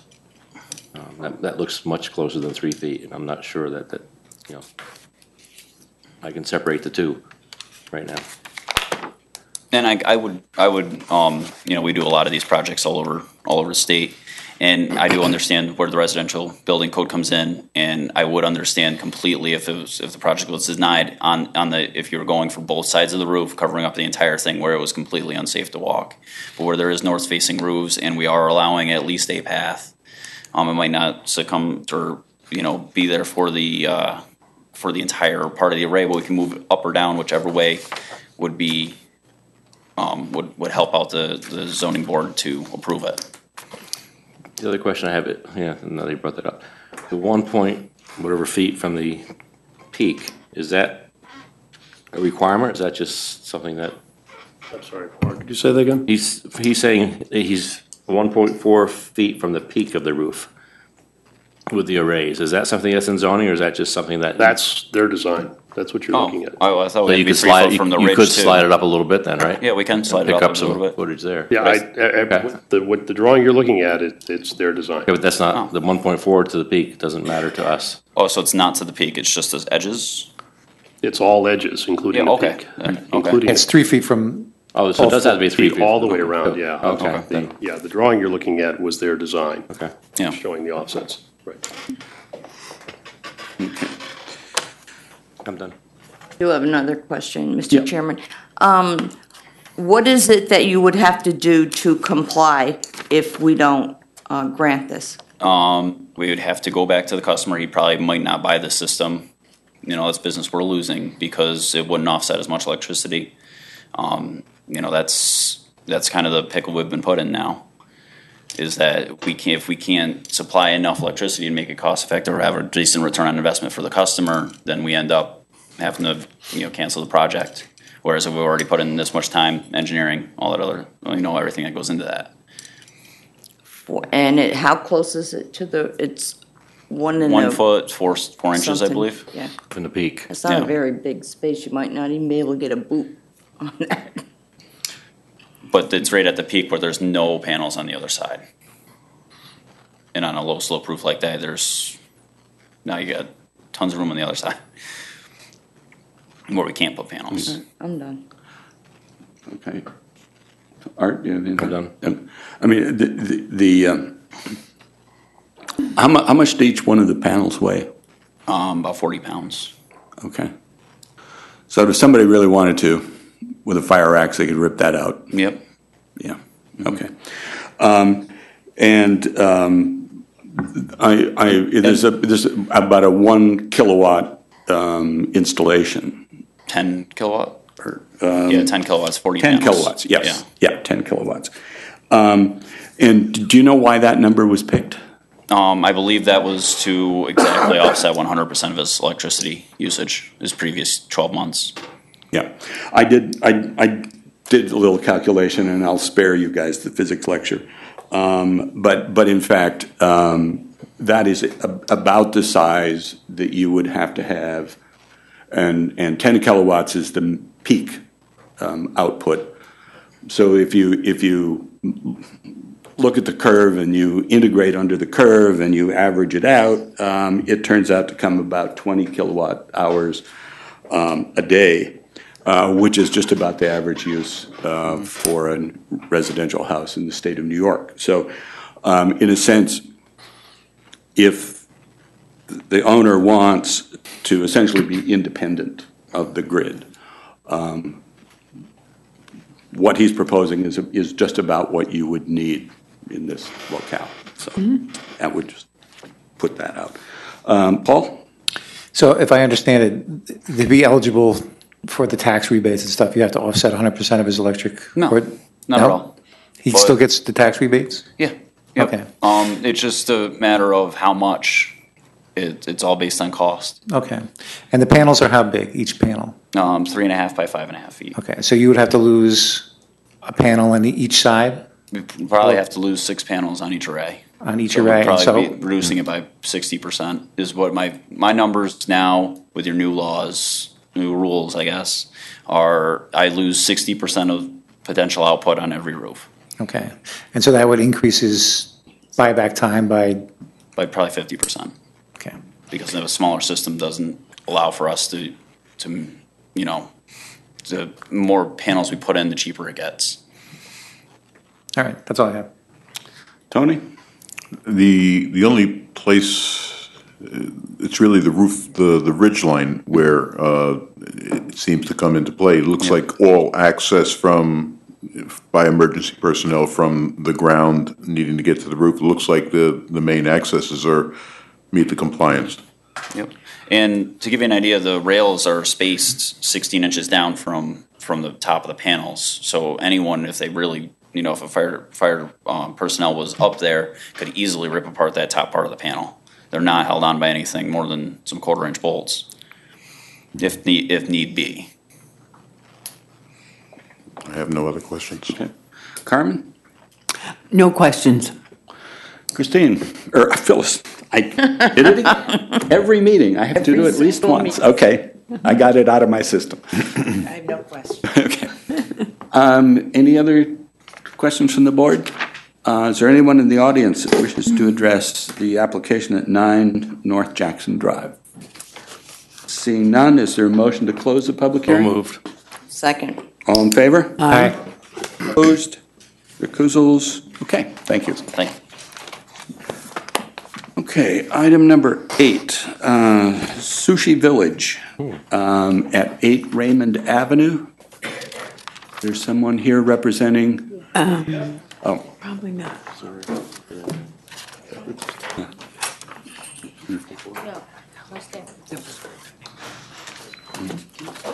okay. Hello, Uh, Your name, please? Jordan Valdina, Synergy Design Architecture and Engineering. Mr. Valdez, do you swear to tell the truth, the whole truth, and nothing but the truth, so help you God? I do. Please be advised that you are under oath and any false statements made by you are subject to perjury pursuant to the laws of the state of New York. Very good. Okay, so if you'd briefly explain why you need a variance. Okay, um, the hope here is that they may use their existing sign that was in use, uh, a block or so, if you will, uh, down Raymond Avenue, closer to, uh, Vassar. Um, one of the aspects of this sign is it is not framed in. I'm aware of how the zoning code reads to, uh, make a rectangle around the largest extents of any component of the sign.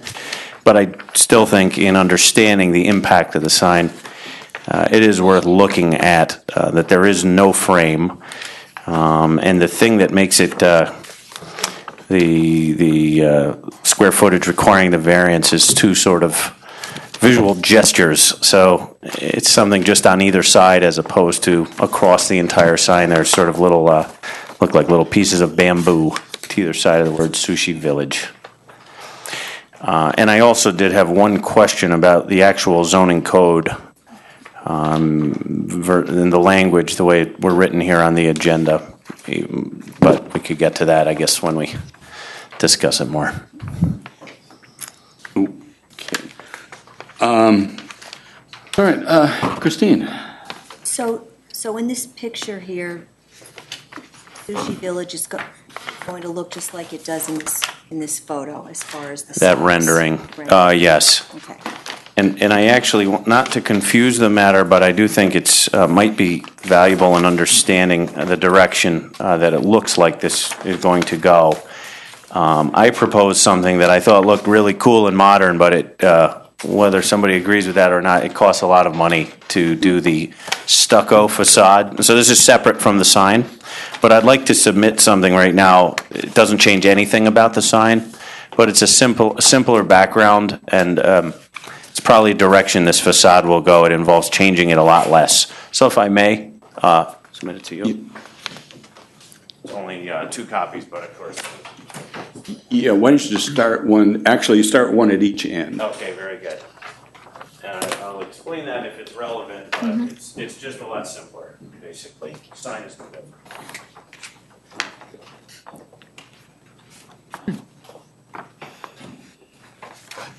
I think it's sort of clearer to see the sign is maybe why it's relevant and its impact in this drawing I just gave you, but it's the exact same size.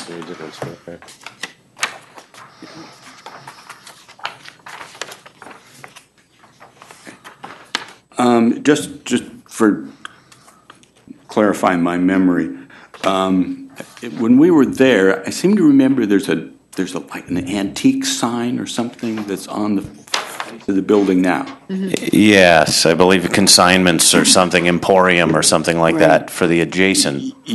That unit. clearly is gone. Yeah. Goes. There's one building with two tenancies on the first floor. Okay. So this is half, and so there are actually two, there were two existing signs. One is down, and Sushi Village proposed to go in its place. The other will be something else. Uh, Uh, Betty? Um, do we have consent from the owner? And the county, what the county said. County said la- matter of local concern. Um,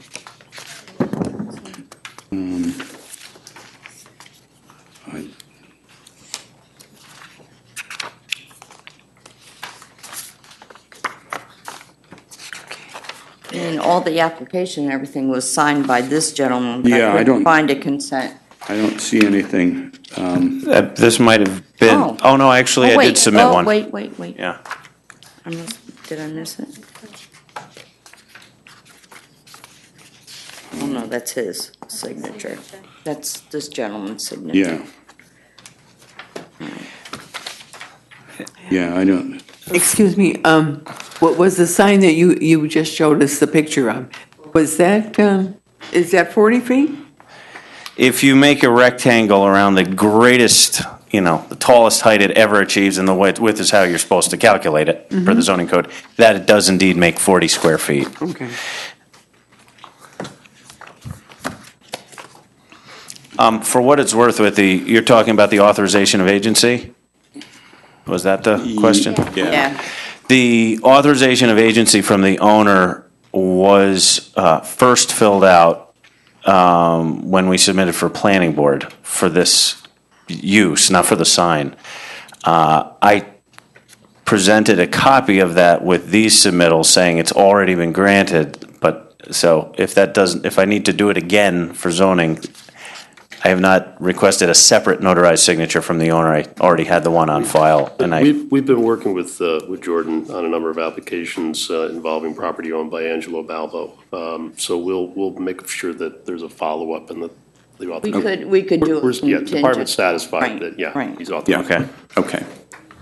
Um, The only question I have is that when you did your 40 square feet includes these little guys, right? Yes.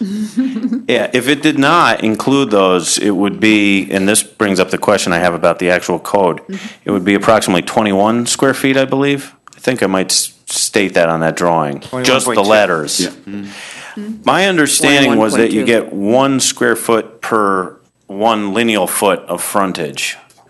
And so I, I, but then here I see it says 15 square feet is permitted. Uh, Is it up to a max of 15? Did I? Yes. It's Yeah, up to a and- max and- of- Right, and, and the I practice see. of the board, uh, I mean, the board is aware that the, the sign limitation for the ATC district is, is um, uh, somewhat constrained for certain uh, occupancies. Uh, But what the board is looking for, application, application, is uh, consistency um, in terms of, uh, is the size of the sign appropriate to the tenant's space involved? And that's really what they're looking at. Um, But you are correct as to the calculation of the way we require the calculation of signage. is You you know, basically draw a box around all parts of the perimeter, you end up with your 40 square feet. But that Okay. is the correct way to do it.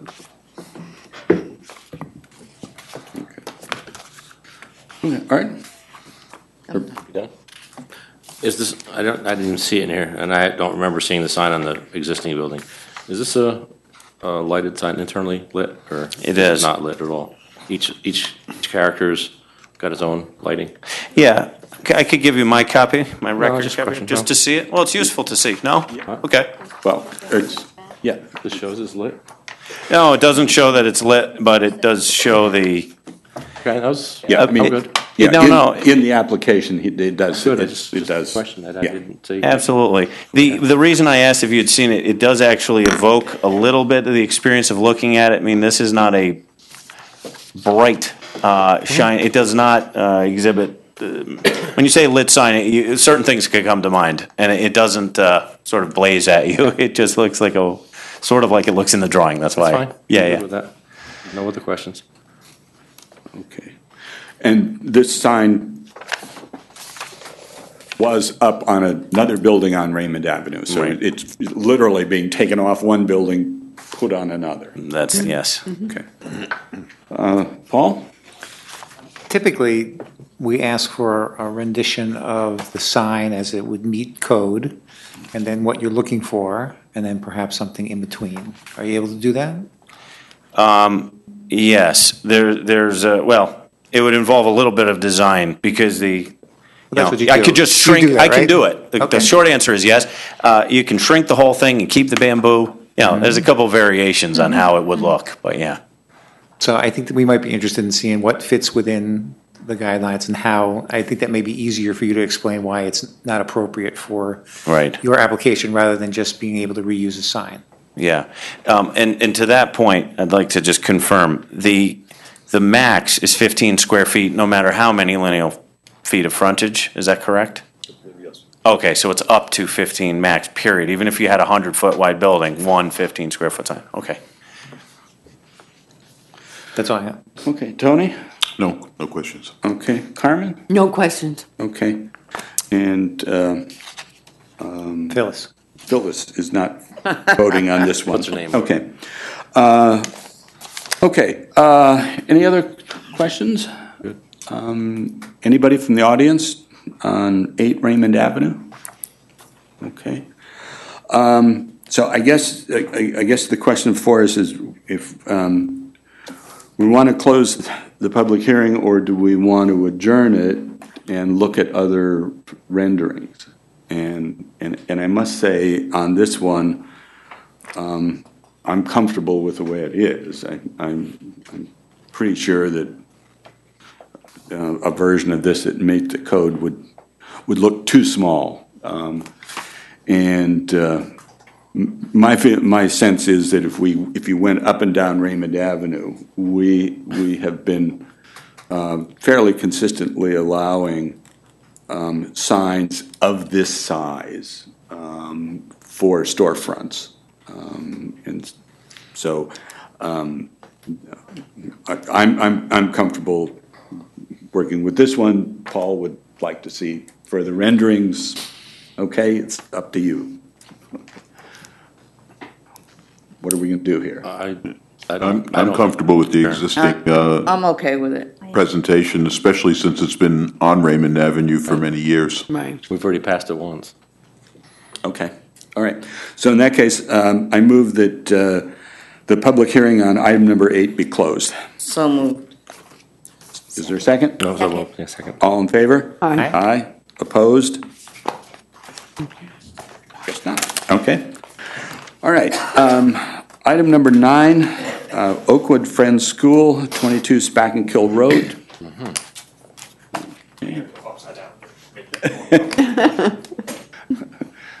There, yeah. That looks like the uh, nine eggs that I know. Okay. Your name, please? Good evening, Ken Casamento from LRC.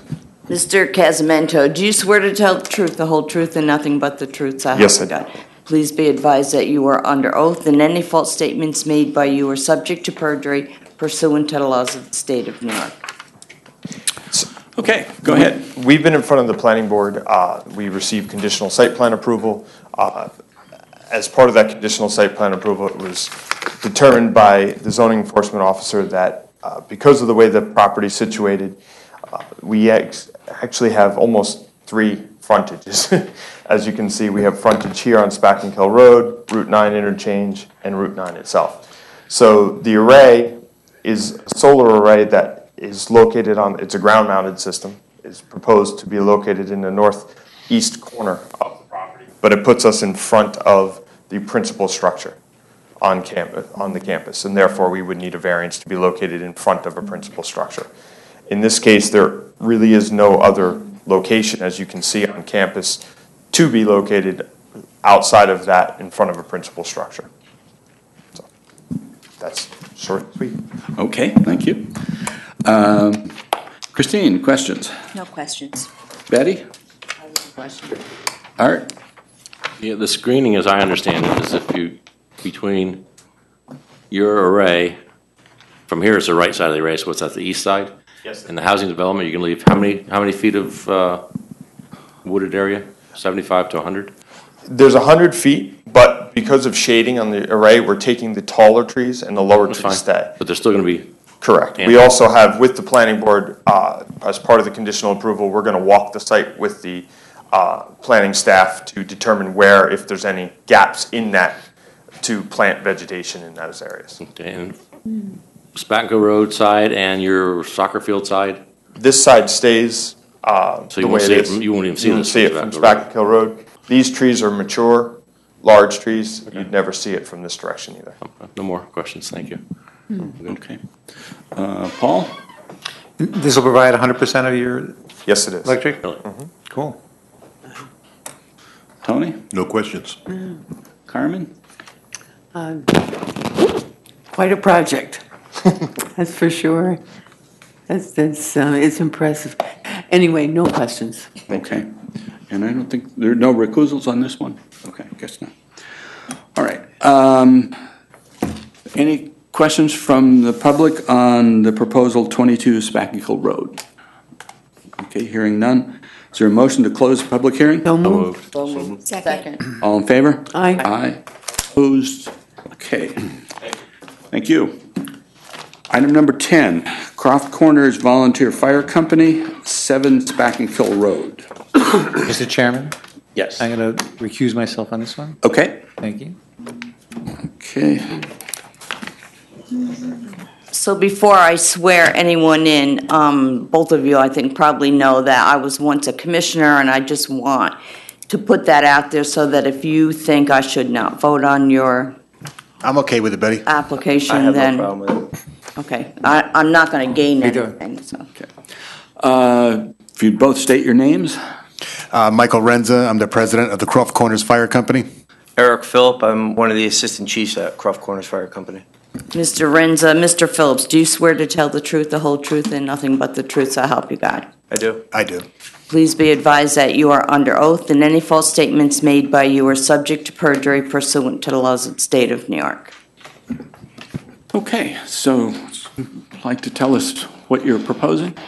Uh, We have an uh, electronic sign that we put up in 2004 uh, with the size of the sign and the messages that we put up. The zoning code for the town of Poughkeepsie says there's one sign up every 12 hours. Um, We are asking the zoning board uh, to please uh, let us put um, multiple messages up instead of one every 12 hours. We do not need to have it flashing, sparkling, movement. Um, Most of our, 99% of our messages are all public service messages, especially when voting time comes up where we have to have different wards. It won't fit in one sign, otherwise the letters will be about that big, and no one will be able to read it. So we are asking that letter C um, from section 210-123.1, letters C and D. um, We're requesting from the zoning board of appeals to please allow us to have us, uh, our messages be displayed, uh, not just one every 12 hours, but we have multiple messages. And we will abide by um, as much of the current zoning law as possible. Like we won't, as I said, we won't have any flashing, any sparkling, any movements. The messages will be up and boom, they instantaneously is changed to another one. So the distractions to drivers uh, is at an extreme minimum. Okay. All right. Um, any- You want to add anything to that? I can just make, one of the reasons we're asking for this is because the sign is from 2004, the software that the sign has is, is kind of older technology, and it actually only limits us to be able to set a range of how long the message is up there before it has to go to the next message. And, and it maxes out at 409.5 seconds, which when you calculate it out is 6.8 minutes. So there's no way from the software that we have, we'd actually have to go out and get a new sign with new software to, to be able to meet that 12-hour uh, requirement. Is that why it turned off when we were there? No, somebody turned it off. No, well, when it goes through, it it probably shut off for a six-minute time frame because there are a few messages that, for that are old messages that had a second page in the message. And how the, how the programming is set up is it's to hold each page for six minutes. And then it goes to the next page. And if that next page happens to be blank, it will be, it ends up being on that. We have a lot of old messages from before, you know, we were cited with this, this um, violation that we're seeking relief from, um, that I've gone through and just put that hold time in. It used to be only a, a f- a five to six second hold time on each message until we were alerted that we couldn't do that. So I went in and now it's finding what messages are and, and it's hard to find all of them because you got to let it run its six minute cycle. You have to stand there for, if you have five messages in there, six minutes times five, you know, messages is quite a while. I'm slowly getting those mess ups with the six minute blank screen off of there. Eric is in charge of our sign at the fire department. Okay. Right. Uh, Christine? So right now, the messages change every 6.8 minutes? With, with the exception of the time, because if we had that stay up for six minutes, it would be six minutes slow. And so we have that only go up for, I believe it's about 15 to 20 seconds. We have the temperature go up for the same, um, and then all the other messages now do uh, just a six minute. We were there for a little while trying to have them all, but if we tried it, like we had, uh, you know, the deceased um, firefighter, so we wanted to try and get that whole message out. Um, and I, not realizing that we really weren't supposed to be doing it all still, um, I did have some messages scrolling to try and get the word out about, you know, the fallen brother in the city of Poughkeepsie and, and our own member also. So, so I've now not doing any more scrolling. Mhm. Um, I've been ordered by the president not to do that, so.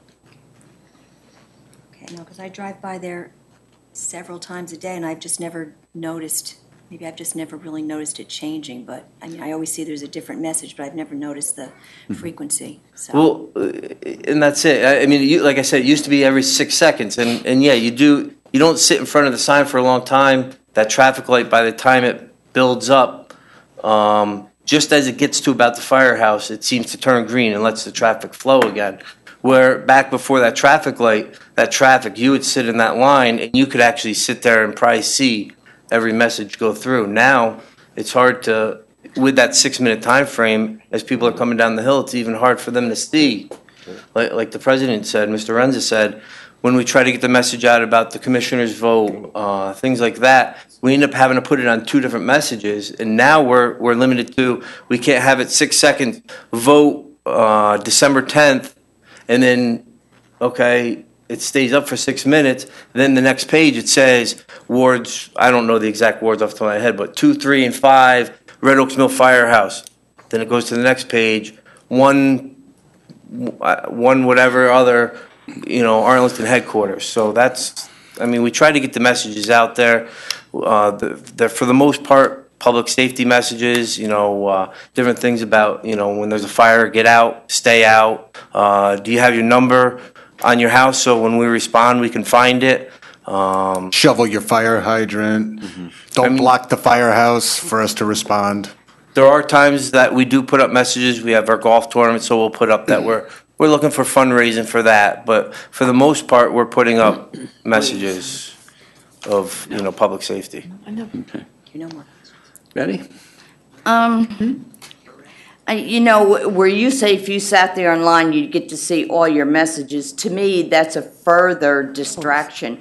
I mean, I might want to see what the next uh, page was and not be able to go forward, or not pay attention to the traffic in front of me. Um, I think this board has real issues with distractions, and the town as well, which is why we have um, the code that's strict.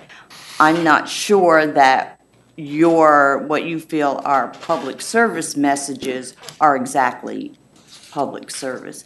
But I do have an issue with the code, and maybe, um, maybe we should, at some point, um, the signs should be allowed to change copy. I think like at, uh, in the state of emergency, that type of thing. And maybe, uh, the town should look at that at some point. And because for the most part, there are no changing copy in the town at all, except that once a day. And now we've had New Hamburg Fire Company in here, Mhm. and the, the sign in front of headquarters has, does not change copy more than once in 12 hours either. So you have to come up with something better to like make me change, only because I think it's a big distraction. Well, um, like I said, we, we are going with the six minute now. Um, I was saying back a while ago when, when it was at the six second, you would see it if you were in backed up traffic. I'm not, I'm not trying to ask for only a six second. I'm just asking for, you know, I told you our, our limitation, which our soft, software will only let us go to, to six, six point eight minutes. So we're looking for some kind of relief. I'm not asking for every five seconds or. It has to change every six minutes? I mean, have you not had upgrades? Software upgrades. that that's what the sign has. That I've reached out to the manufacturer and they said that's they haven't given us much help. I guess the ones in New Hamburg and the ones at headquarters is probably newer. A lot know, newer. Than Mu- what much you newer. have. They are. Yeah. Um, I mean, this is this sign's uh, about 11 years old now. I'm not sure how to um, fix that for you. Oh, we certainly wouldn't make anything a distraction for any driver, any, any of the drivers coming down the road. Um, As I said, let's just say it was a vote and then we have multiple messages up for wards or zones. You know, it would stay up there. Uh, for if there's, whatever the board decided, like, you know, leave the message up there for a minute, then boop, instantaneously it changes again. So there's no animation, scrolling, or any other things that is currently in the zoning law. We will be happy to abide by that. But we would like to have, you know, multiple messages that are static messages, but once every 12 hours, you're, it's basically a, a $12,000 clock we have. So we're just, we're just hoping we can meet somewhere to help us, help us out. All right, I'm not sure how to do that. Go ahead, go around. You're saying that the sign, is this a Watchfire sign, by the way? No, it's uh, um, it's um, AlphaNet is the software, and then you have the actual model of the sign. And you're saying that they will not respond to a software upgrade question? Have you actually asked them if they can upgrade the software? When we first got cited, what was it, about a year ago? I think it was. I did reach out to them, and they they never got back to me. Yeah, from Adaptive Microsystems from Milwaukee. Did you, did you follow up? I did a few times, yes. Have you talked to any of the sign companies in the area to see if they can help you? I have not. Because I know, you know, a number of the sign companies deal with these signs, and they're fairly, uh, they have fairly, you know, have good luck getting things resolved. I agree with uh, Betty, and I, you know, I've lived in this area so far forever. Um, I find coming down that road, your sign changing is a distraction. I mean, you got people that are going to stop or slow down and try to figure out what that sign said, and I'm amazed that we have had a lot of accidents there. As far as voting, I mean, it's in the Poughkeepsie Journal. I think the town lets people know where to vote. I don't understand why the Croft Corners Firehouse needs to tell people where they need to vote. Red Oaks Mill has a static sign, a, a hand-posted sign. Um, New Hamburg has a static sign. Well, Uh, I don't, I don't know what the net gain is for a, a resident, for you to, to tell them that, hey, you, X number, X ward votes here. It's already broadcast, the papers and the, the town. So what's the net gain? To, well, just to answer that question, there are residents that go to the Arlington Fire District Board of Fire Commissioners meetings, and they constantly request that we put that information on our sign. So Maybe the answer should be they should read the paper. Well, You know, I mean, I, you know, just saying, rather than go No, to no, sir, potential we, we distraction. totally agree with you. There are more than, more than one uh, place of media, more than one place for Right. communication. Um, We're just trying to do our part too. Well, I understand that, but I, I find your part against, you know, number one, it's against the, the town code, and I, I, I find it distracting. I, I, I see people, like Betty said, they, they rubberneck and try to say, it changed when you just went by it, and people are trying to say, what did that just say? And if, you know, if they, if they slow down, um, I see a terrible potential there. I've seen it for years, and I think we need to resolve it. Um, With all again, due respect, sir, uh, we have, there's not been one accident in front of our house I think we've been and since lucky. 2004, sir. I think we've been lucky, personally. But again, you know, this is one of the few signs that changed as far as I can remember. Um, I I agree with the town code. I don't think we should allow it to continue to change. Okay. um, Yeah, my, my my concern is that the, the, the, the- um, code here is for a zoning code remarkably clear. It just says, "There shall be none." And um, motives have nothing to do with it.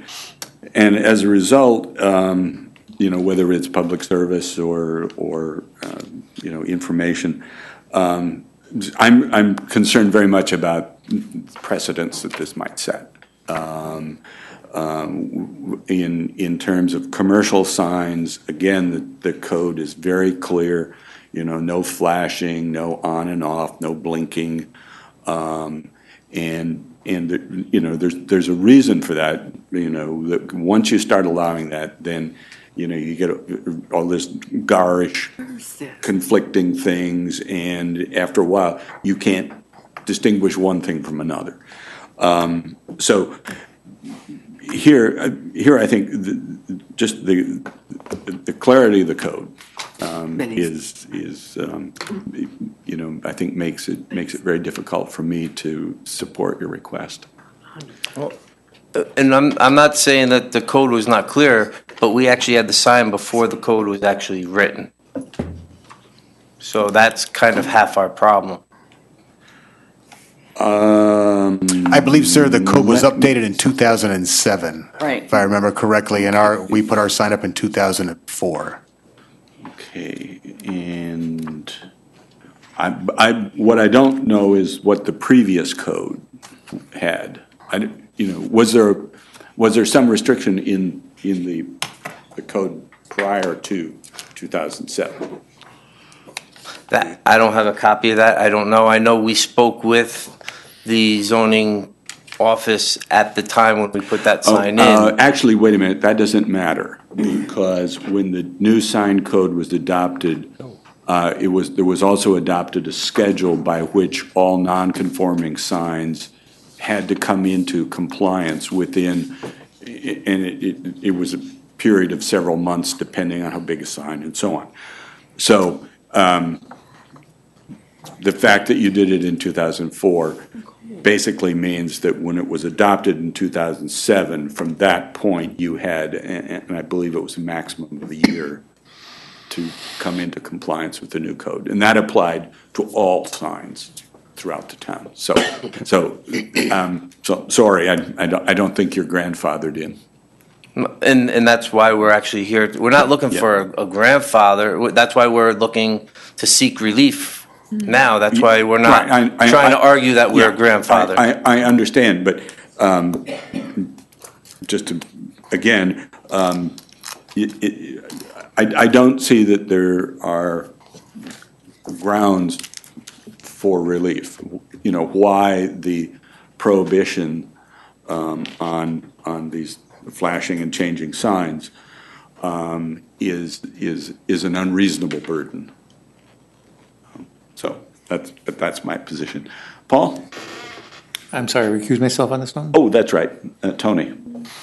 Uh, The, the way your software is set up right now, you can, you can run a, a message for up to six minutes and change? and- Yeah. And and so it would be, at least for that six minutes, a static message is, uh, you know, if, if a message is up for that length of time, I don't know anybody who spends more than six minutes in front of the firehouse, you know, uh, at a light.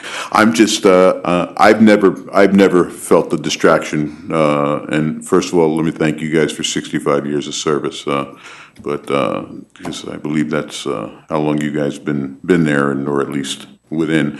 But um, that, that area has never, never uh, distracted me at all. I, I frequently go down. um, I kind of enjoy uh, the community service uh, messages that you do put up. Today, I think there was something about telling your chil, teaching your children about 911 and the use of it. Uh, Those are good reminders, probably a lot better infrequent distraction than most adults uh, give themselves to in their cars on a daily basis. So uh, I personally, you know, if you would just see that your message extends for that six-minute period. I can't see where anybody would ever witness the flash unless they happen to be there at the time it changed. Mhm. But um, I, I have no problem with that at all. Okay. Uh, Carmen? Uh, Yes, um, uh, certainly I commend you on your years of service, and I certainly commend you on the pitch that you've made tonight. That being said, uh, I I do th- think that the the code is correct on this one, and in New Hamburg, we uh, also uh, denied them uh, to to have it uh, change um, less than 12 hours, and um, I think some people see it as a distraction. I do, but not, not everyone else does. But um, I, I think in this case, um, that there was a good reason that the code was written the way it was, and um, I, I would have to vote against it. Your, your request. Uh, Phyllis? I have no questions. Okay. Um, Any other questions from the board? Can I Okay. ask a question? Can I ask one more question? Sure. If it can, it changes every six point eight minutes, is there any way you Oh, uh. Your microphone needs. To so sorry. It changes every six point eight minutes, is there any way that you could put the same message up? The same message so it would, it would extend to a longer period of time, so you wouldn't have to change the software or, or get a new sign or something like that? I've never tried to just have one message up there, but then we, we wouldn't be able to get the, we try to on a daily basis get different messages out there. But if, if that's what we have to do, we're gonna have to figure out something to make it so it can only change once every twelve hours. Um, I don't know what it would do because it, it- would flash every six minutes then when it changed its message. You know, do, it, it's just a quick flicker of, from, you know, going from one message to the next, but it's still gonna do that because it's reloading that same message. I think what Christine was referring to is sometimes you can trick a program into doing what you needed to do. Like if you had um, the message number one there, and then after the time runs out, it goes to the exact same message over and over so that it looks like it's basically the same message all day. And to add to that, I, I have to kind of wonder why um, one message or more than one message a day is really required or needed. Right. I mean, aside from when you um, tell people where to go to vote, I, it's usually just one screen, right? with different messages. Um, y- you know, uh, what was it, about three weeks ago when we, we had we actually had within a week's time frame we had two different members of the Right, fire I- service right, passed I away. understand that. So we were trying to pay respect to both of those members, so we had both of those messages up. So that's On the same day? Yeah, because you know it was within a week's time frame. We usually keep that message up for about a two week time frame for each. Firefighter Gunther and uh, Right. past Chief Ray Ball. So we try to, you know, so yeah, we would go one message, then, then we also have the, we try to do a public service, put the time and the temperature, like a lot of signs out there do. I mean, we could eliminate the time and the temperature, but again, that's flashing and, Time you and know. temperature, if I'm not mistaken, by the zoning rules, time and temperature don't apply to it. That can change. But that would be, we, we could remove that and not have that come up as a message, because then that is another message, because we don't have that up with the other message, so we, we're changing a message, and that's in between the messages that we change, to, again, kind of do a, you know, a, a public service of letting the people know what the time and the temperature is out there. But, you know, we're, we're, we're, we're at the mercy right now of, of, of you folks because we're limited of what the sign can do, but we're, we're hoping we'd be able to do more. We're actually, like- I said, we're, we're looking to just limit it to, instead of twelve hours, every six minutes.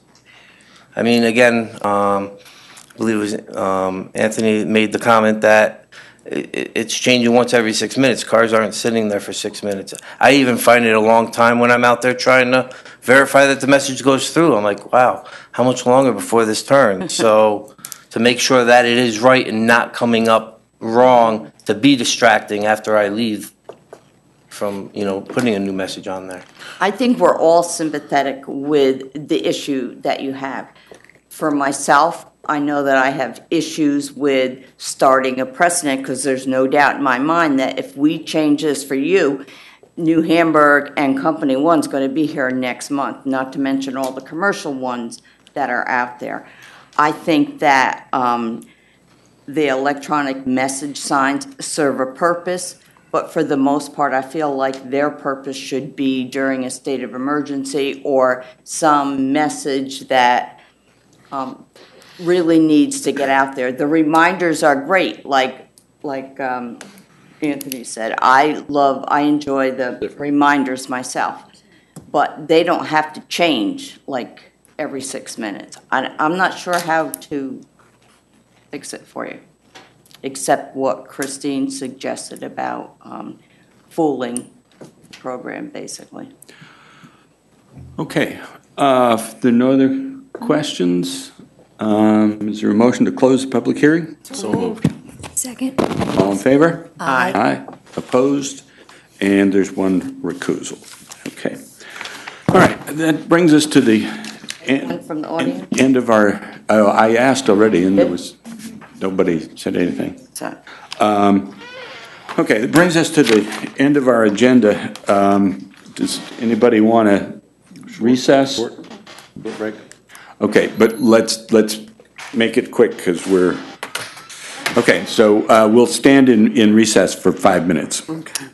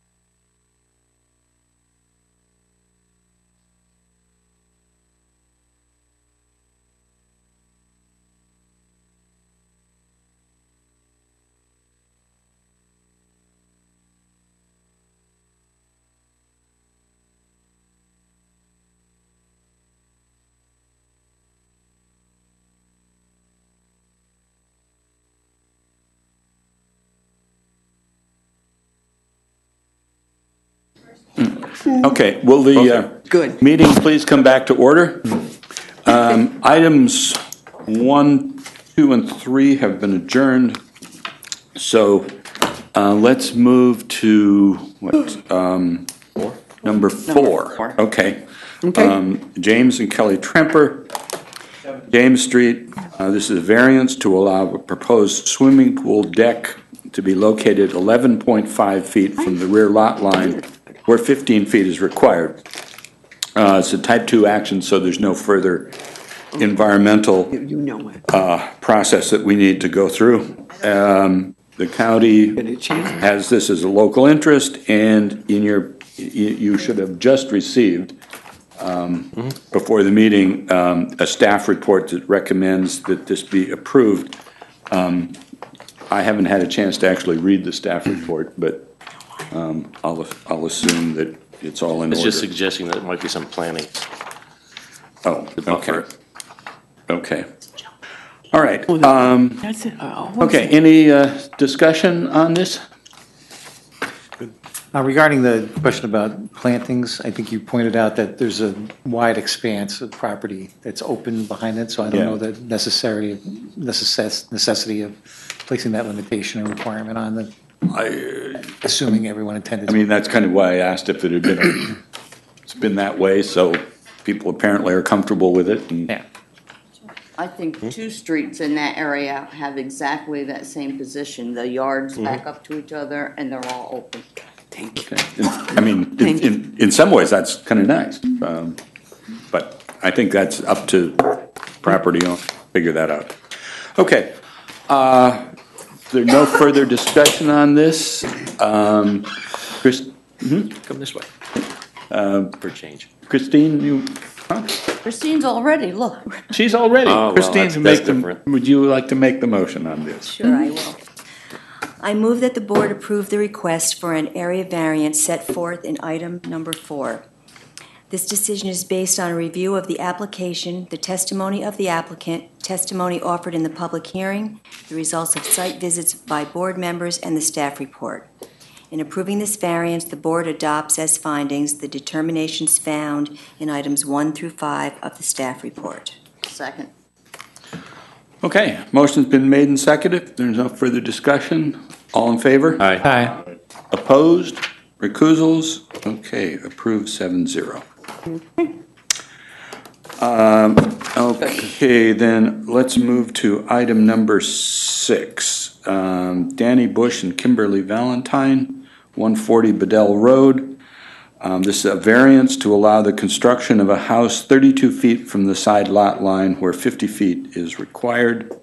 Uh, Once again, there's a type 2 action, and there is a staff report uh, recommending that this be approved. Any discussion? Okay, and um, I just note that any, the question that was raised about the shared driveway has been resolved by the parties involved. Um, Okay, if there's no further discussion, uh, Betty, do you want to make the motion? Five. Um, Item number Yeah. six. Six. Six. I lied. Item Five. six. I move that the board approve the request for an area variance set forth in item number six, no, five. Six. Six. Oh, I had six. Fine. Six. Art. That's why I lied to you.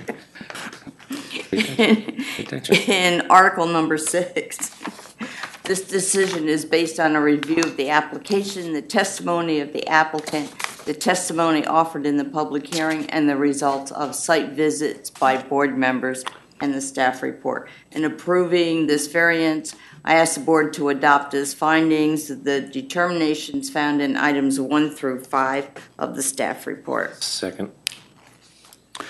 Okay, uh, is there any further discussion? Uh, If not, um, all in favor? Aye. Opposed?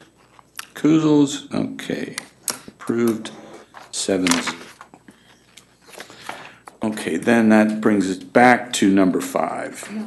Can we do Oakwood? They're Oh, sitting here. Oakwood Who's is, here? Okay, okay, so let's move to item number nine. Okay, um, the variance to allow a ground mon- mon- mounted solar array to be located in front of the principal structure. Uh, this is a type two action. Um, the county has said it's a matter of local concern. Um, I don't have a staff report on this, so, um, somebody will have to fill me in on that. Uh, It states that the applicant has presented a sufficient case in support of granting the requested variance. No no problems. Uh, let's see, let me take a quick look here. Um, um,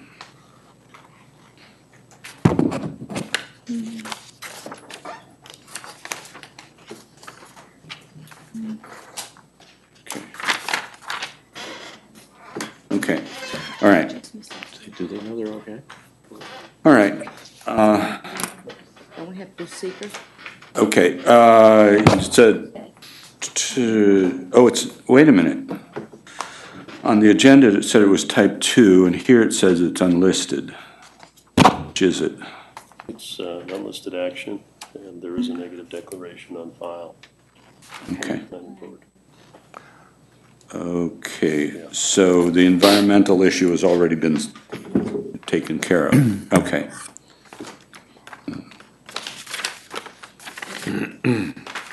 Okay, I'm, I'm sorry, I just didn't have an opportunity to review this before the meeting. Um, Okay, uh, any discussion? Okay, uh, if not, uh, I think all the, the issues in the code regarding screening and uh, all that have been addressed Mhm. by the applicant. It's really only, again, he has three front yards, so that makes it, um, is what triggered the request of the variance or the need for the variance. And I think uh, with all the planning that's been done, it kind of addresses all the, all the concerns that the code has. Okay.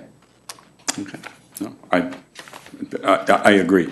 The, a- a- actually, and the issue before us is a very limited one of where it's located with respect to the principal structure, and there's, Right, there's no the way the alternatives. existing Right. campus is, everything's gonna be in front of the principal structure. Mhm. Um, so, okay. Um, Art, you wanna do this one? Sure. It's not hard. I move that the board approve the request for an area variance set forth in item number nine. This Decision is based on a review of the application, testimony of the applicant, testimony offered in the public hearing, results of site visits by board members, and the staff report. In approving this variance, the board adopts as findings the determinations found in items one through five of the staff report, and there are no conditions. Right. Second. Okay, motion's been made and seconded to vote, to approve the variance request at 22 Spackenkill Road. Uh, If there's no further discussion, all in favor? Aye. Aye. Opposed? Recusals? Okay, approved seven zero. Okay. All right, uh, let's see, do we, I guess now we're back to five, right? Okay. Uh, Item five, Sherry Daniels and Dave Rinders, uh, 400 Van Wagner Road. This is a variance to allow a shed to be located in front of the principal structure. Um, There's, uh, this is a type 2 action, and there's a staff report, um, and I took a quick look at it, and it said there was no, there were no objections to it, or something like that. Um, Me too. Okay, um, all right. Would not result in any detriment, okay. All right, um, okay, any comment, discussion? Well, I, I- I've already stated my, my opposition to it, Jim, and, um, uh, because I do think there is another option there. It's not ideal, but, uh, you, you can handle the, the the drainage problem as well, so. Okay. One of the applicant's concerns were the robberies, which of course aren't robberies, but larcenies, uh, that happen at the property. I'm not sure how this shed is going to alleviate that. I think building something around all the i- stuff that's laying out and available for taking. Enclose that area would be. Might be a better uh, application, so. Right. Well, I think many, many of us that went on the field trip noticed that there were things around that could be cleaned up and, um, hopefully with a shed, they can store things, at least lock the door may help. Um, But, okay, um, any further comments, discussion? Okay. Uh, all right, so I guess it comes to me. Um, uh, I move that the board approve the request for a variance set forth in item number five. This decision is based on a review of the application, the testimony of the applicant, testimony offered in the public hearing, the results of site visits by board members, and the staff report. In approving this variance, the board adopts as findings the determinations found in items one through five of the staff report. So move. Second. Okay, um, if there's no further discussion, um, all in favor? Aye. Aye. Opposed? Nay. Nay. Okay, uh, so approved five to two. Okay. Okay, uh, six we have done. Item number seven, uh, Lee and Meredith Stabe, nine North Jackson Drive. This is a variance to allow a roof-mounted, roof-mounted solar panels to be one foot from the western roof edge, one foot from the roof peak on the east-west roof line, and one foot four inches east and west of the north-south roof line, where three feet is required from all edges. Um, This is a type 2 action, so there's no environmental issue. Um, The county has said it's a matter of local determination, and there's a staff report which I glanced at uh, just before the meeting. Recommends against. Okay, let's see. Um, Okay. Um, All right. uh.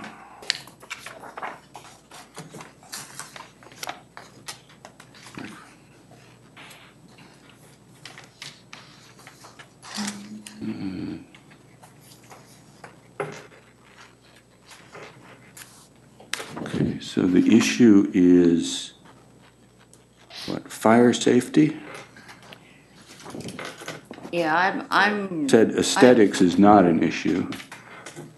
I have a lot of questions about this one. Uh, Substantial. um, Okay. All right. Uh, Staff recommendation, is the applicant has not presented sufficient information to support the granting of the requested variance. Presumably, what, from the safety point of view, is that what you're getting at? Um, Yeah, uh, again, the, um, this was a fairly recent uh, addition to the code. It was premised on uh, concerns for uh, rooftop access by fire personnel primarily, and that's why it was put in. And Staff did not feel that they'd presented in- in- adequate information in their application to justify not providing the three feet around the perimeter of it. I almost wish we had asked the guys from Croft questions about when, when they said, well, you could easily, um, you know, hit the panels with an axe. Destroy 'em, right? Yeah, but wouldn't that, wouldn't that be a problem as well? Couldn't they, couldn't that be dangerous? That's my question. Yeah, I mean, I The whole can't, thing being on a roof is dangerous. I I can't, Well, yeah, I, I agree, and, you know, a foot and something, I know guys that feet, their boots are that size, so where are they gonna stand? Well, and they're dragging equipment up. They've got hoses Right. and respirators and whatever else with them, sure. And, you know, typically there's more than one if they're up on a roof. But it's, that, again, that was the nature, that's the reason for the code change. And I think we only did that probably in the last, uh, maybe four months. So it's fairly I kind of got caught in it, but I don't know. Well, you know, it's, it's, it's incumbent on all of the applicants and the representatives, these solar guys included, to check the codes periodically. I, I honestly, I don't, you know, uses the word ridiculous, I think, no no less than four times, which, you know, it's never a good idea, in my opinion, to, to use that to describe somebody else's code. Um, but, um, it, it's incumbent on all of them to check the codes. And, um, so they are, you know, again, this was a change that we made for a very specific, uh, safety reason as opposed to an aesthetic reason in this case. All right. On the other hand, the testimony was that he'd purchased it before the code change. Uh, he didn't And he receive the also, I permit think- before that, so. More importantly, he testified there's access to the roof from the other side. It's unencumbered by any panels. Mm-hmm. So I, I don't, the safety issue, I think, is maybe mitigated by the fact that you can make access. on Yeah, the I- other- this is for the board, I'm just explaining why the, why the code was in. I, I, I don't know. I You're mean, right. I guess that would depend on who the fire was. Right? Maybe. But I, I bet you they're gonna cut a hole where there's room rather than the three feet that they can stand on, rather than the whole other roof. But what are you gonna do when you have truss? We allow truss, um, construction here in the town, and it's unsafe completely to be on top of the roof. So there's no, I don't think we require them to notify the fire department that it's a truss, uh, construction that's dangerous to be on the roof. And No, they try to keep track of those though. they do, yeah. Um, And I think more importantly, the fact that the way to compli- come in compliance results in the removal of so many panels that it's no longer economically feasible. Yeah. So I think that is a huge hardship to the applicant. Yeah. Yeah, and, and my, my take on it is these, these panels are actually quite light. I mean, um, the- I mean, the maximum weight is, is two pounds per square foot. So, you know, um, you know, one, one hit and, um, they're gone. And, uh, as, you know, getting, in an emergency, clearing that panel off uh, is, is, would be much easier than, the- than chopping the hole in the roof. I mean, um, it's, it's just, there's just no comparison in terms of the structure. Um, And as was pointed out, um, there's a whole lot of other roof on this house that's um, free and clear, so. Right. All right, so here's a question. Um, this is an opportunity to set precedents.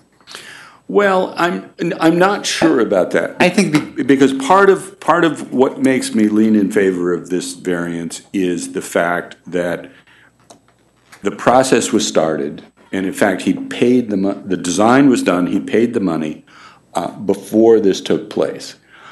I think if somebody came, you know, and started this process after the, the code was out there, I I wouldn't probably be, you know, quite so, uh, so sympathetic. Hmm. Uh, But I think this is a guy that did. I, I don't know that he did pay, though. Got caught. It has not been installed, I just want to make sure. Not been installed, but, but he has, he has paid for it, and, um, Actually, I don't think what, that's what the testimony was. I think he's, he's made a contract, but I don't think he's paid for it yet, according to how I understood the testimony from the um, representative from Solar City. okay, okay. um, Just, just so, I mean, I, I, my understanding from what he said was that it's not yet been paid for, although they quite clearly, you know, started a process and have a contract, but. Okay, well, but there's a contract. Right. Yeah.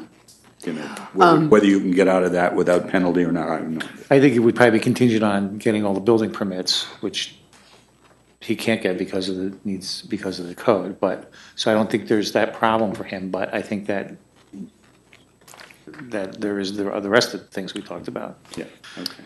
And, and uh, three of the areas that uh, are not in compliance are the, um, the area between the top of the solar panel and the, and the roof, the ridge line. Okay, so it's, those three, uh, there's only one other, if I read, reading these uh, plans correctly, there's only one other one, which is, uh, you know, a side uh, access that's like, what, 1.4 uh, feet. But those three areas are not going to prevent access to the roof. Uh, You know, you've got to, you got to be at the top of the roof, um, you know, unless they're dropping down and coming down that way. uh, It's, you know, the, the, I think the, Oh, I uh, I think the, the the primary purpose of the, having that access, it's available. It's available in all cases except the, um, um, I don't know if that, I guess that would be the west, the west side.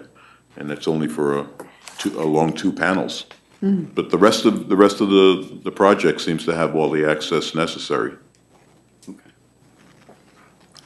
Okay. My- uh, I just have a, a quick question for Neil. Um, Is it this particular house and these particular panels and the size of them that, that is a problem here? Or um, it- how are we going to be ruling in the, in the future on, on, on a house that wants roof panels? I, think it was the fact that the design was uh, put down on paper, agreed to between the seller and the owner, and they, they want to go forward with the original design. I, I think that if, um, uh, based on the conversations um, that I had had with uh, the, actually was the engineering firm that did the design drawing that you're seeing, uh, and they made, they made some slight modifications. There were some other areas um, uh, on the roof, uh, I think the forward section, uh, that they were able to adjust the panels to avoid the need for variances, so they can do it. Um, It's just, I think, in those two locations um, that, uh, that they were not able to do it or decided not to accommodate the change. It's a design question. Um, I don't think that it's particularly unique to this particular setting. Okay. Okay, any uh, other comments, questions, discussion? Okay. Um, Paul, you want to do this? Sure, I move that the board approve the request for an area variance set forth in item number seven. Decision is based upon a review of the application, the testimony of the applicant, testimony offered in the public hearing, the results of site visits by the board. And um, find that there will be no undesirable change in the character of the neighborhood or the nearby properties created by the granting of this area variance because there are nearby properties that have rooftop solar panels that exceed um, the current code. The benefits sought by the applicant can be achieved by some method feasible for the applicant to pursue other than the area variance. The testimony that I heard that it would be uh, improbable or in, it would be too much of a burden uh, to do that. Um, Whether the requested area variance is substantial, it depends on how you look at it. The code says you need three feet of setback, and this wants to go down to one. So that, that is substantial, but I think if you look at the entire area of the roof, the difference between three feet and one feet is not substantial. And whether the proposed variance will have an adverse effect on the physical or environmental conditions in the neighborhood or district, I don't, I don't see how that, um, how it would, other than reducing our dependence on conventional uh, energy. And whether the alleged difficulty was self-created, um, I think that the fact that he went into contract before the code changed um, makes it not self-created, and therefore, um, it's my recommendation Okay. that there be no uh, conditions. All right, uh, is there a second? Second. Okay, um, if there's any further comment or discussion? Okay, um, all in favor? Aye. Aye. Aye. Opposed? Yay, no. Okay, and there were no recusals? Okay, so it's approved six one. Okay. All right, item number eight, um, Village, um, eight Raymond Avenue, variance to allow a wall sign of forty square feet where fifteen square feet is required. Um, this is an unlisted action, but there is an, uh, completed, uh, EAF short form attached. So, um, I move that the, ZBA, um, declare itself lead agency for purposes of the environmental review of the application in item eight. Second. All in favor? Aye. Aye. Opposed? Okay. Um, I further move that based on the completed EAF short form, the Town of Poughkeepsie ZBA finds that the action proposed in item number eight will have no significant impact on the environment. Second. All in favor? Aye. Aye. Opposed? Okay. Uh, okay, so they want to reuse a sign. Um, It seems to me they're actually being prudent. Really, You don't, it, it takes up the entire facade of the, of the area. Um, Most of the ones in Arlington do, if you've, other than, Yeah, they do. other than the uh, burger Well, what about the Jamaican place right next, two, two places up? That doesn't. In fact, that use just has really window signage. Rather too much window signage, but, um, um, no, well, I'm, I'm, I'm thinking of the signs that we approved down, further down on Raymond Avenue. Right, those were, those were larger, but they didn't take up the entire facade. See, I, d- I don't, I Chairman, don't. if- if I could, and I, uh, we did not get the staff report um, on this one out to you. We were delayed on obviously all of the uh, reports. Um, What we would normally have provided you as part of the staff report would be to sort of point out the variances that have been granted for the signage down further down on Raymond Avenue as well as on Main Street. And uh, notwithstanding the, the manner in which we require them to calculate the signage, you end up with 40 square feet. When you look at simply the, the lettering themselves, at the 21 square feet or so, um, that's very consistent with the variances that you granted for things like dark side records and the, and the uh, signage further down, um, the, uh, for some of the restaurants, um, and even including um, Niagara Bank, you know, all in that sort of 21 to 28 square foot range. And so I'm just offering that to the board as sort of a reminder of, you know, the variances that have been granted previously. Okay, but we're not granting it 21. No, no, no, I understand that. Right, okay. But it's, yeah, but it's about that proportionality question the board is always struggling to answer. Yeah. See, it- I mean, we're, we're, we're gonna get in a debate over aesthetics, but see, see, it seems to me that, that what, what you've got here fits very comfortably in. Almost entirely. That space. Oh, come on. Or, So you can see it's sucking its stomach right in to fit in there. Get out of here. I think this would be more of an issue if it, if it was a, a solid sign. If it did have a frame around it and, and it wasn't basically, uh, wording and two freestanding pieces, Yeah, you know? and, and, and you, and you see the, uh, the the brickwork of the facade. Right, and. I, quite frankly, I think, uh, I think a solid rectangle, uh, is a little bit more obtrusive than the sushi, the sushi village sign. And it hasn't been offensive, uh, in the community, uh, a block down the road. I don't see why it should be up here. Great. At at eight. I agree. I, I think because of its openness, it, it, it doesn't have as much of an impact on you as if it was, uh, you know, uh, a ten by four, forty square foot rectangular sign. What was the size of the one, uh, the previous sign that Sushi had? That's it. That's the It's same exactly the What was same. size? They're moving it from this building to right. this building, that's Yeah, all. yeah, so it's exact, physically, it's the same thing. they're moving it a block and a half. Yeah. Go. Yeah. The sign that says Tokyo Village is moving to 8 Raymond Avenue. There's a temporary sign farther down where the Chinese place just went in. That's sushi. Oh. Don't- Yeah, Okay. the the temporary signage, because it's temporary, we, the rules are very different. Right, but it's, I don't- it says Tokyo Express at 8 Raymond Avenue. Hmm? No, That's what the sign says on, on the building up the street. Where Sushi Village was. Tokyo Express was on the Where right. Sushi Village was, right? What's that? That's where Sushi Village was. Right.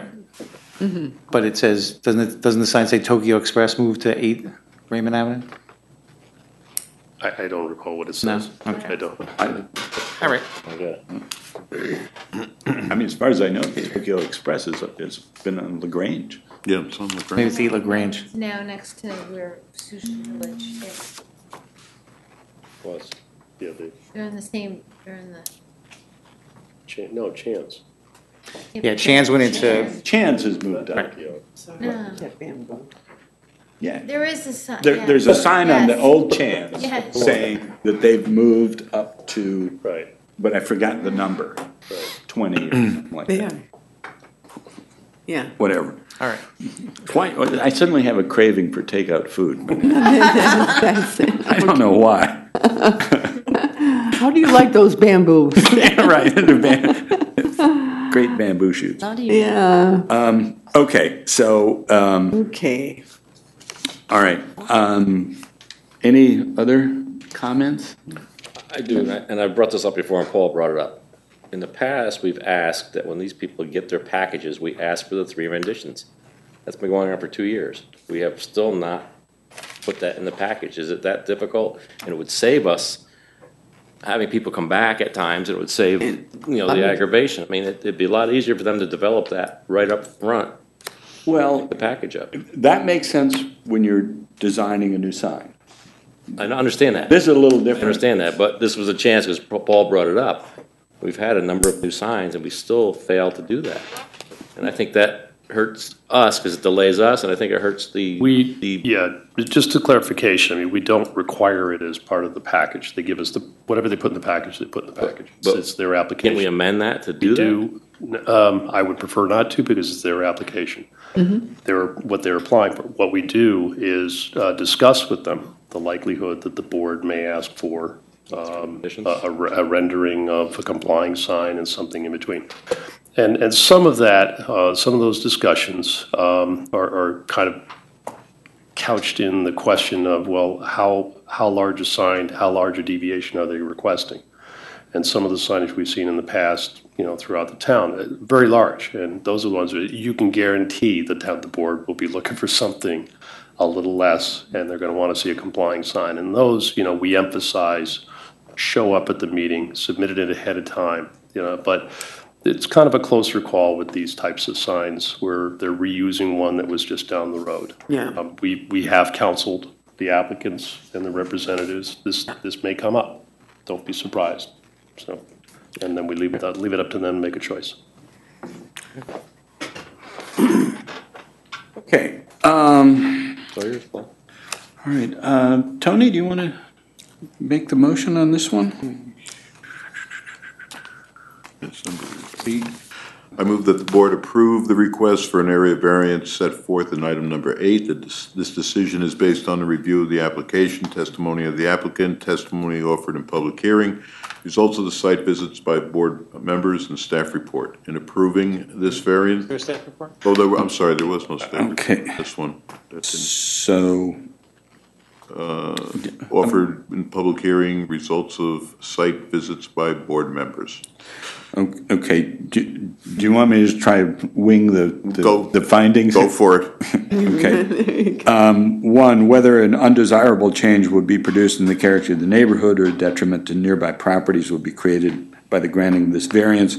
Uh, The board finds that um, this will not change the character of the neighborhood. Um, In fact, the sign in question was already existing in the neighborhood, um, and that the proposed sign is uh, comparable to sign, other signs that have been approved um, in the um, Arlington area. Two, whether the benefits sought by the applicant could be achieved by some method feasible for the applicant to pursue other than an area variance. Um, The only alternative for the applicant would be to throw away the existing sign and create a, a new one. Um, This would be um, the, the um, detriment to the applicant would, would not be um, offset by any, any be- public benefit. Uh, Whether the requested area variance is substantial, um, it involves a 40-square-foot sign at, at- at the maximum, where 15 is required, it, it is therefore substantial. Uh, Whether the proposed variance will have an adverse effect or impact on the physical environment, um, physical or environmental conditions of the neighborhood. No, um, for the reason that it has already been existing um, nearby.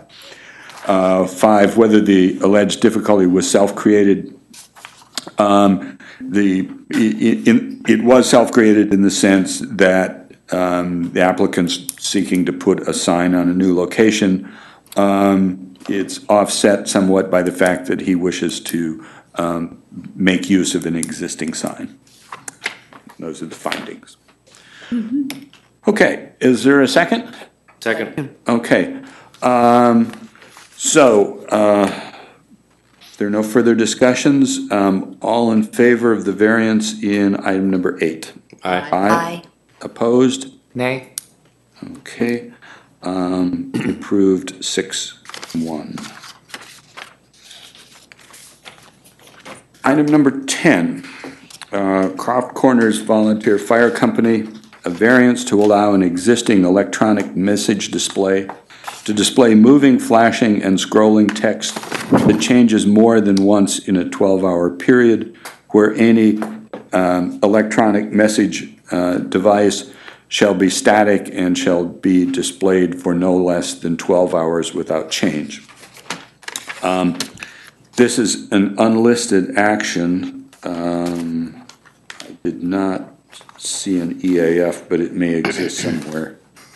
Um, So assuming, um, um, I move that the town's ZBA declare itself lead agency for the purpose of evaluating the environmental impact of item number 10. Second. All in favor? Aye. Aye. Okay, um, I move that the uh, town's ZBA finds that the action proposed in item number 10 will have no significant impact on the environment. Second. All in favor? Aye. Okay, uh, there's a uh, staff report that recommends that this variance not be approved. Um, And, um, okay, uh, and part of the, arg- uh, a good, one of the main arguments is that other fire companies have similar signs um, that do comply with the 12-hour message requirement. And that there's no clear reason why it's necessary in the case of Croft Corners. Okay, uh, comments, discussion? It's a hundred percent variance. Um, Yep. As much as I think some of their, um, messages are beneficial, et cetera, et cetera. I, I don't know how, I, I cannot come up with the leg to stand on, on voting yes for this. Hey, Neil? I have I have a question for you. Part of their argument of their presentation was that they use it to, to, uh, to honor their fallen brothers. Is there a way that we could allow that to happen and yet revert back immediately to the normal sign if, you know, once that honor has been satisfied? Or is that too much? I, I honestly don't know where you draw the line in the message itself. I mean, as you know, we don't regulate content and signs. There's always First Amendment issues. It's, it's like Um, they would leave that up longer anyway. Oh, yeah, yeah. Yeah, I would. you That's would one leave that. doesn't, that's the one thing doesn't change. Yeah, and, but, you know, how do you draw a dis- distinction between the, the, the, um, you know, the public service, non-public service, and, you know, the signs that honor the fallen and things like, I, I don't know where you, where you draw the line, how you even craft, you know? Yeah, it's probably too much work. Yeah.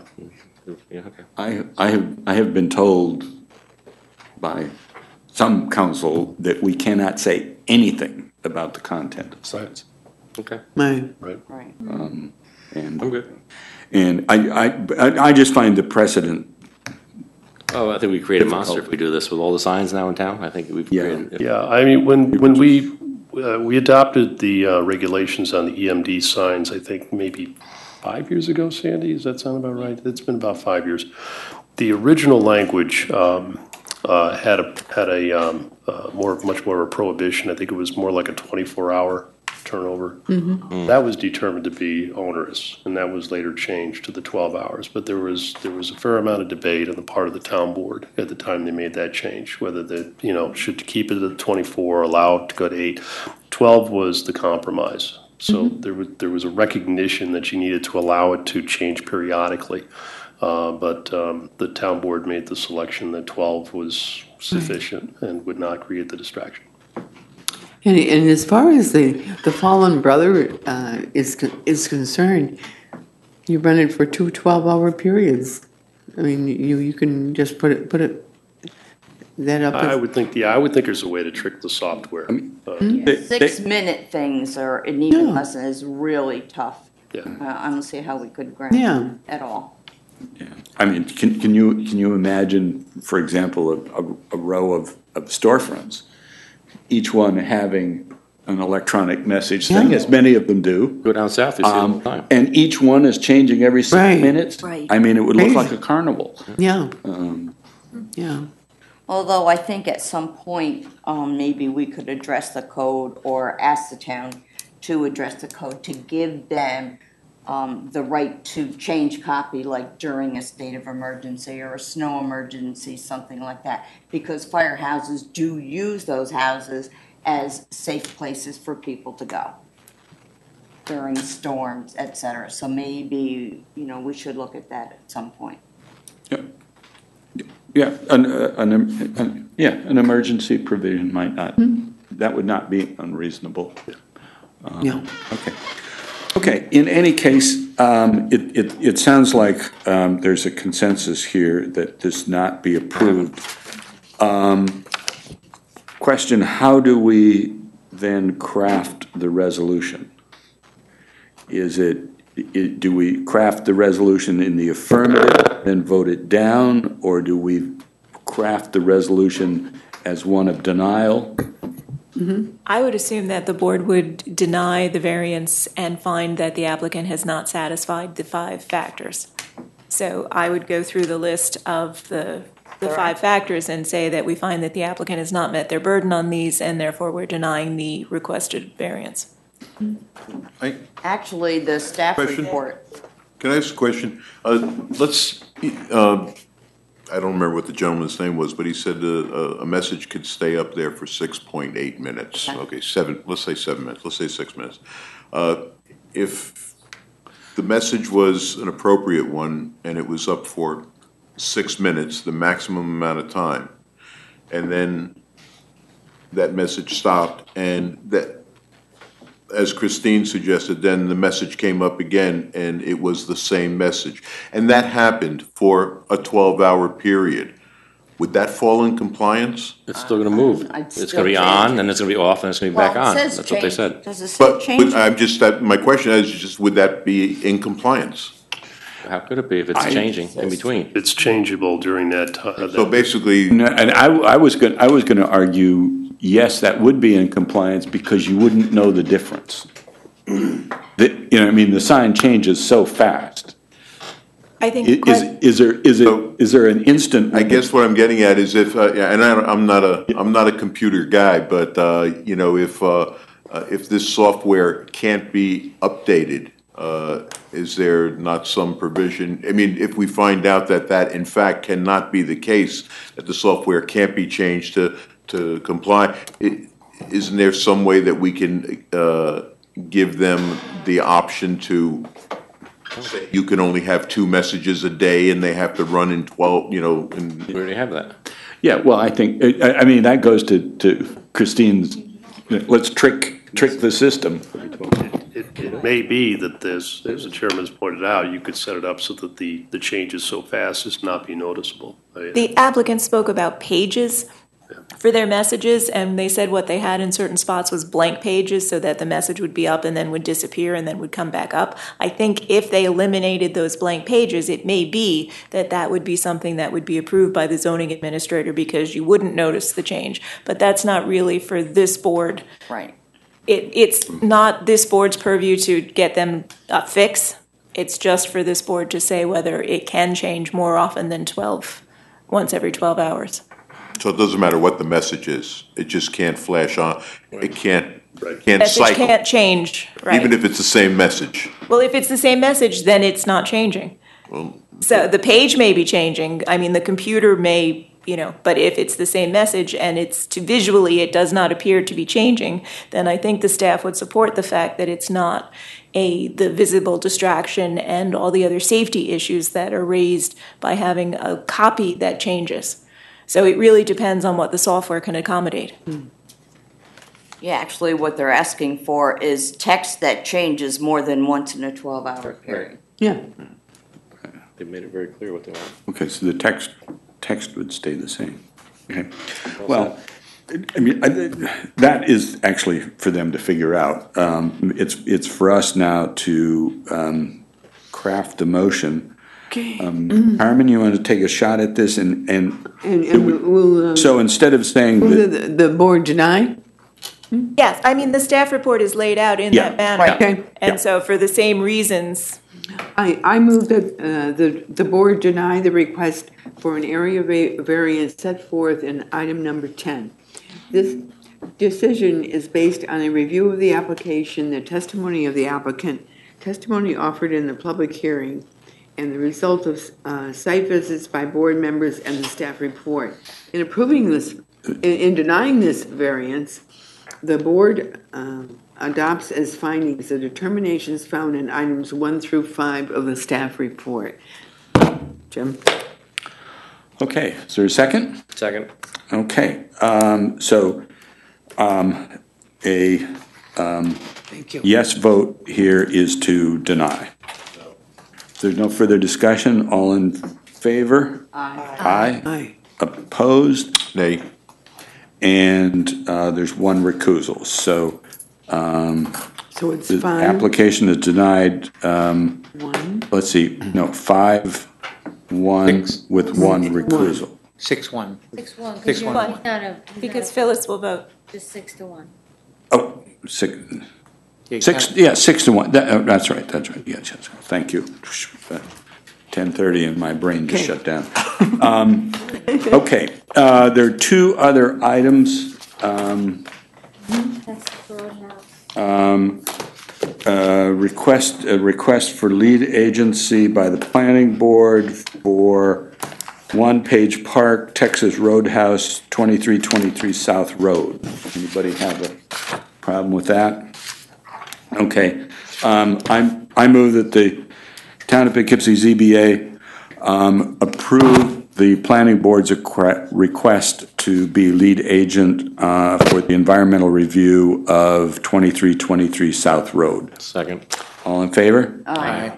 Opposed? Okay.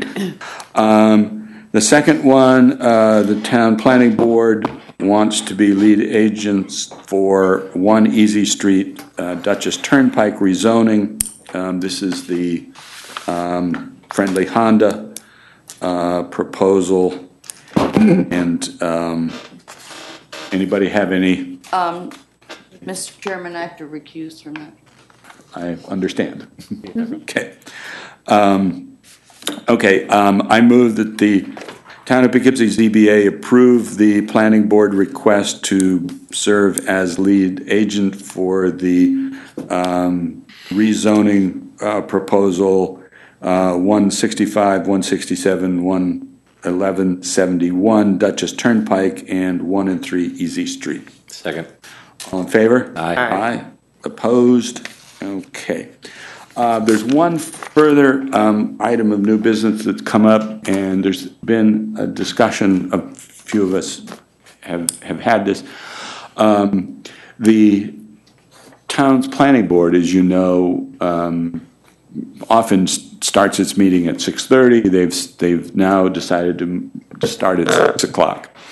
Um, And the purpose is to prevent uh, the meetings going long into the, into the night. Um, Do we want to do something similar? Instead of starting our meetings at seven, um, to start them at six? Okay with it. Um, If we had done that tonight, it would be 9:15 instead of 10:15. Um, I'm okay with that. I think people who are working, it would affect them more, and, and uh, we should ask them. Pardon? Uh, uh, People who are working. How you gonna ask them all? Can't ask them all, ask them all, I mean, if you No, said. no, where. The people on the board. Oh, on the board, oh, I thought, I thought you meant the people that are coming in. Duh. I Not work, like us people You work? thought that too? I work, I'm okay with it.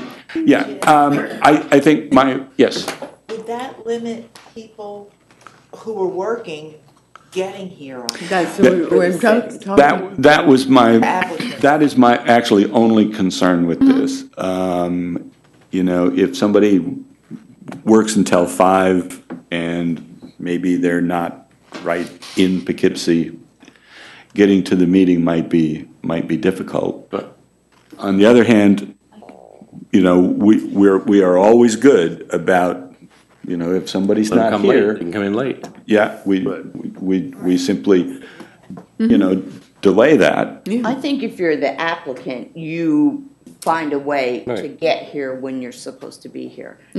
Well, and staff also, um, not to use the word manipulate the agenda, but we do, we do slide the items around on the agenda um, to accommodate people who may be running late, who may need to leave early. So we can make those accommodations. Yeah.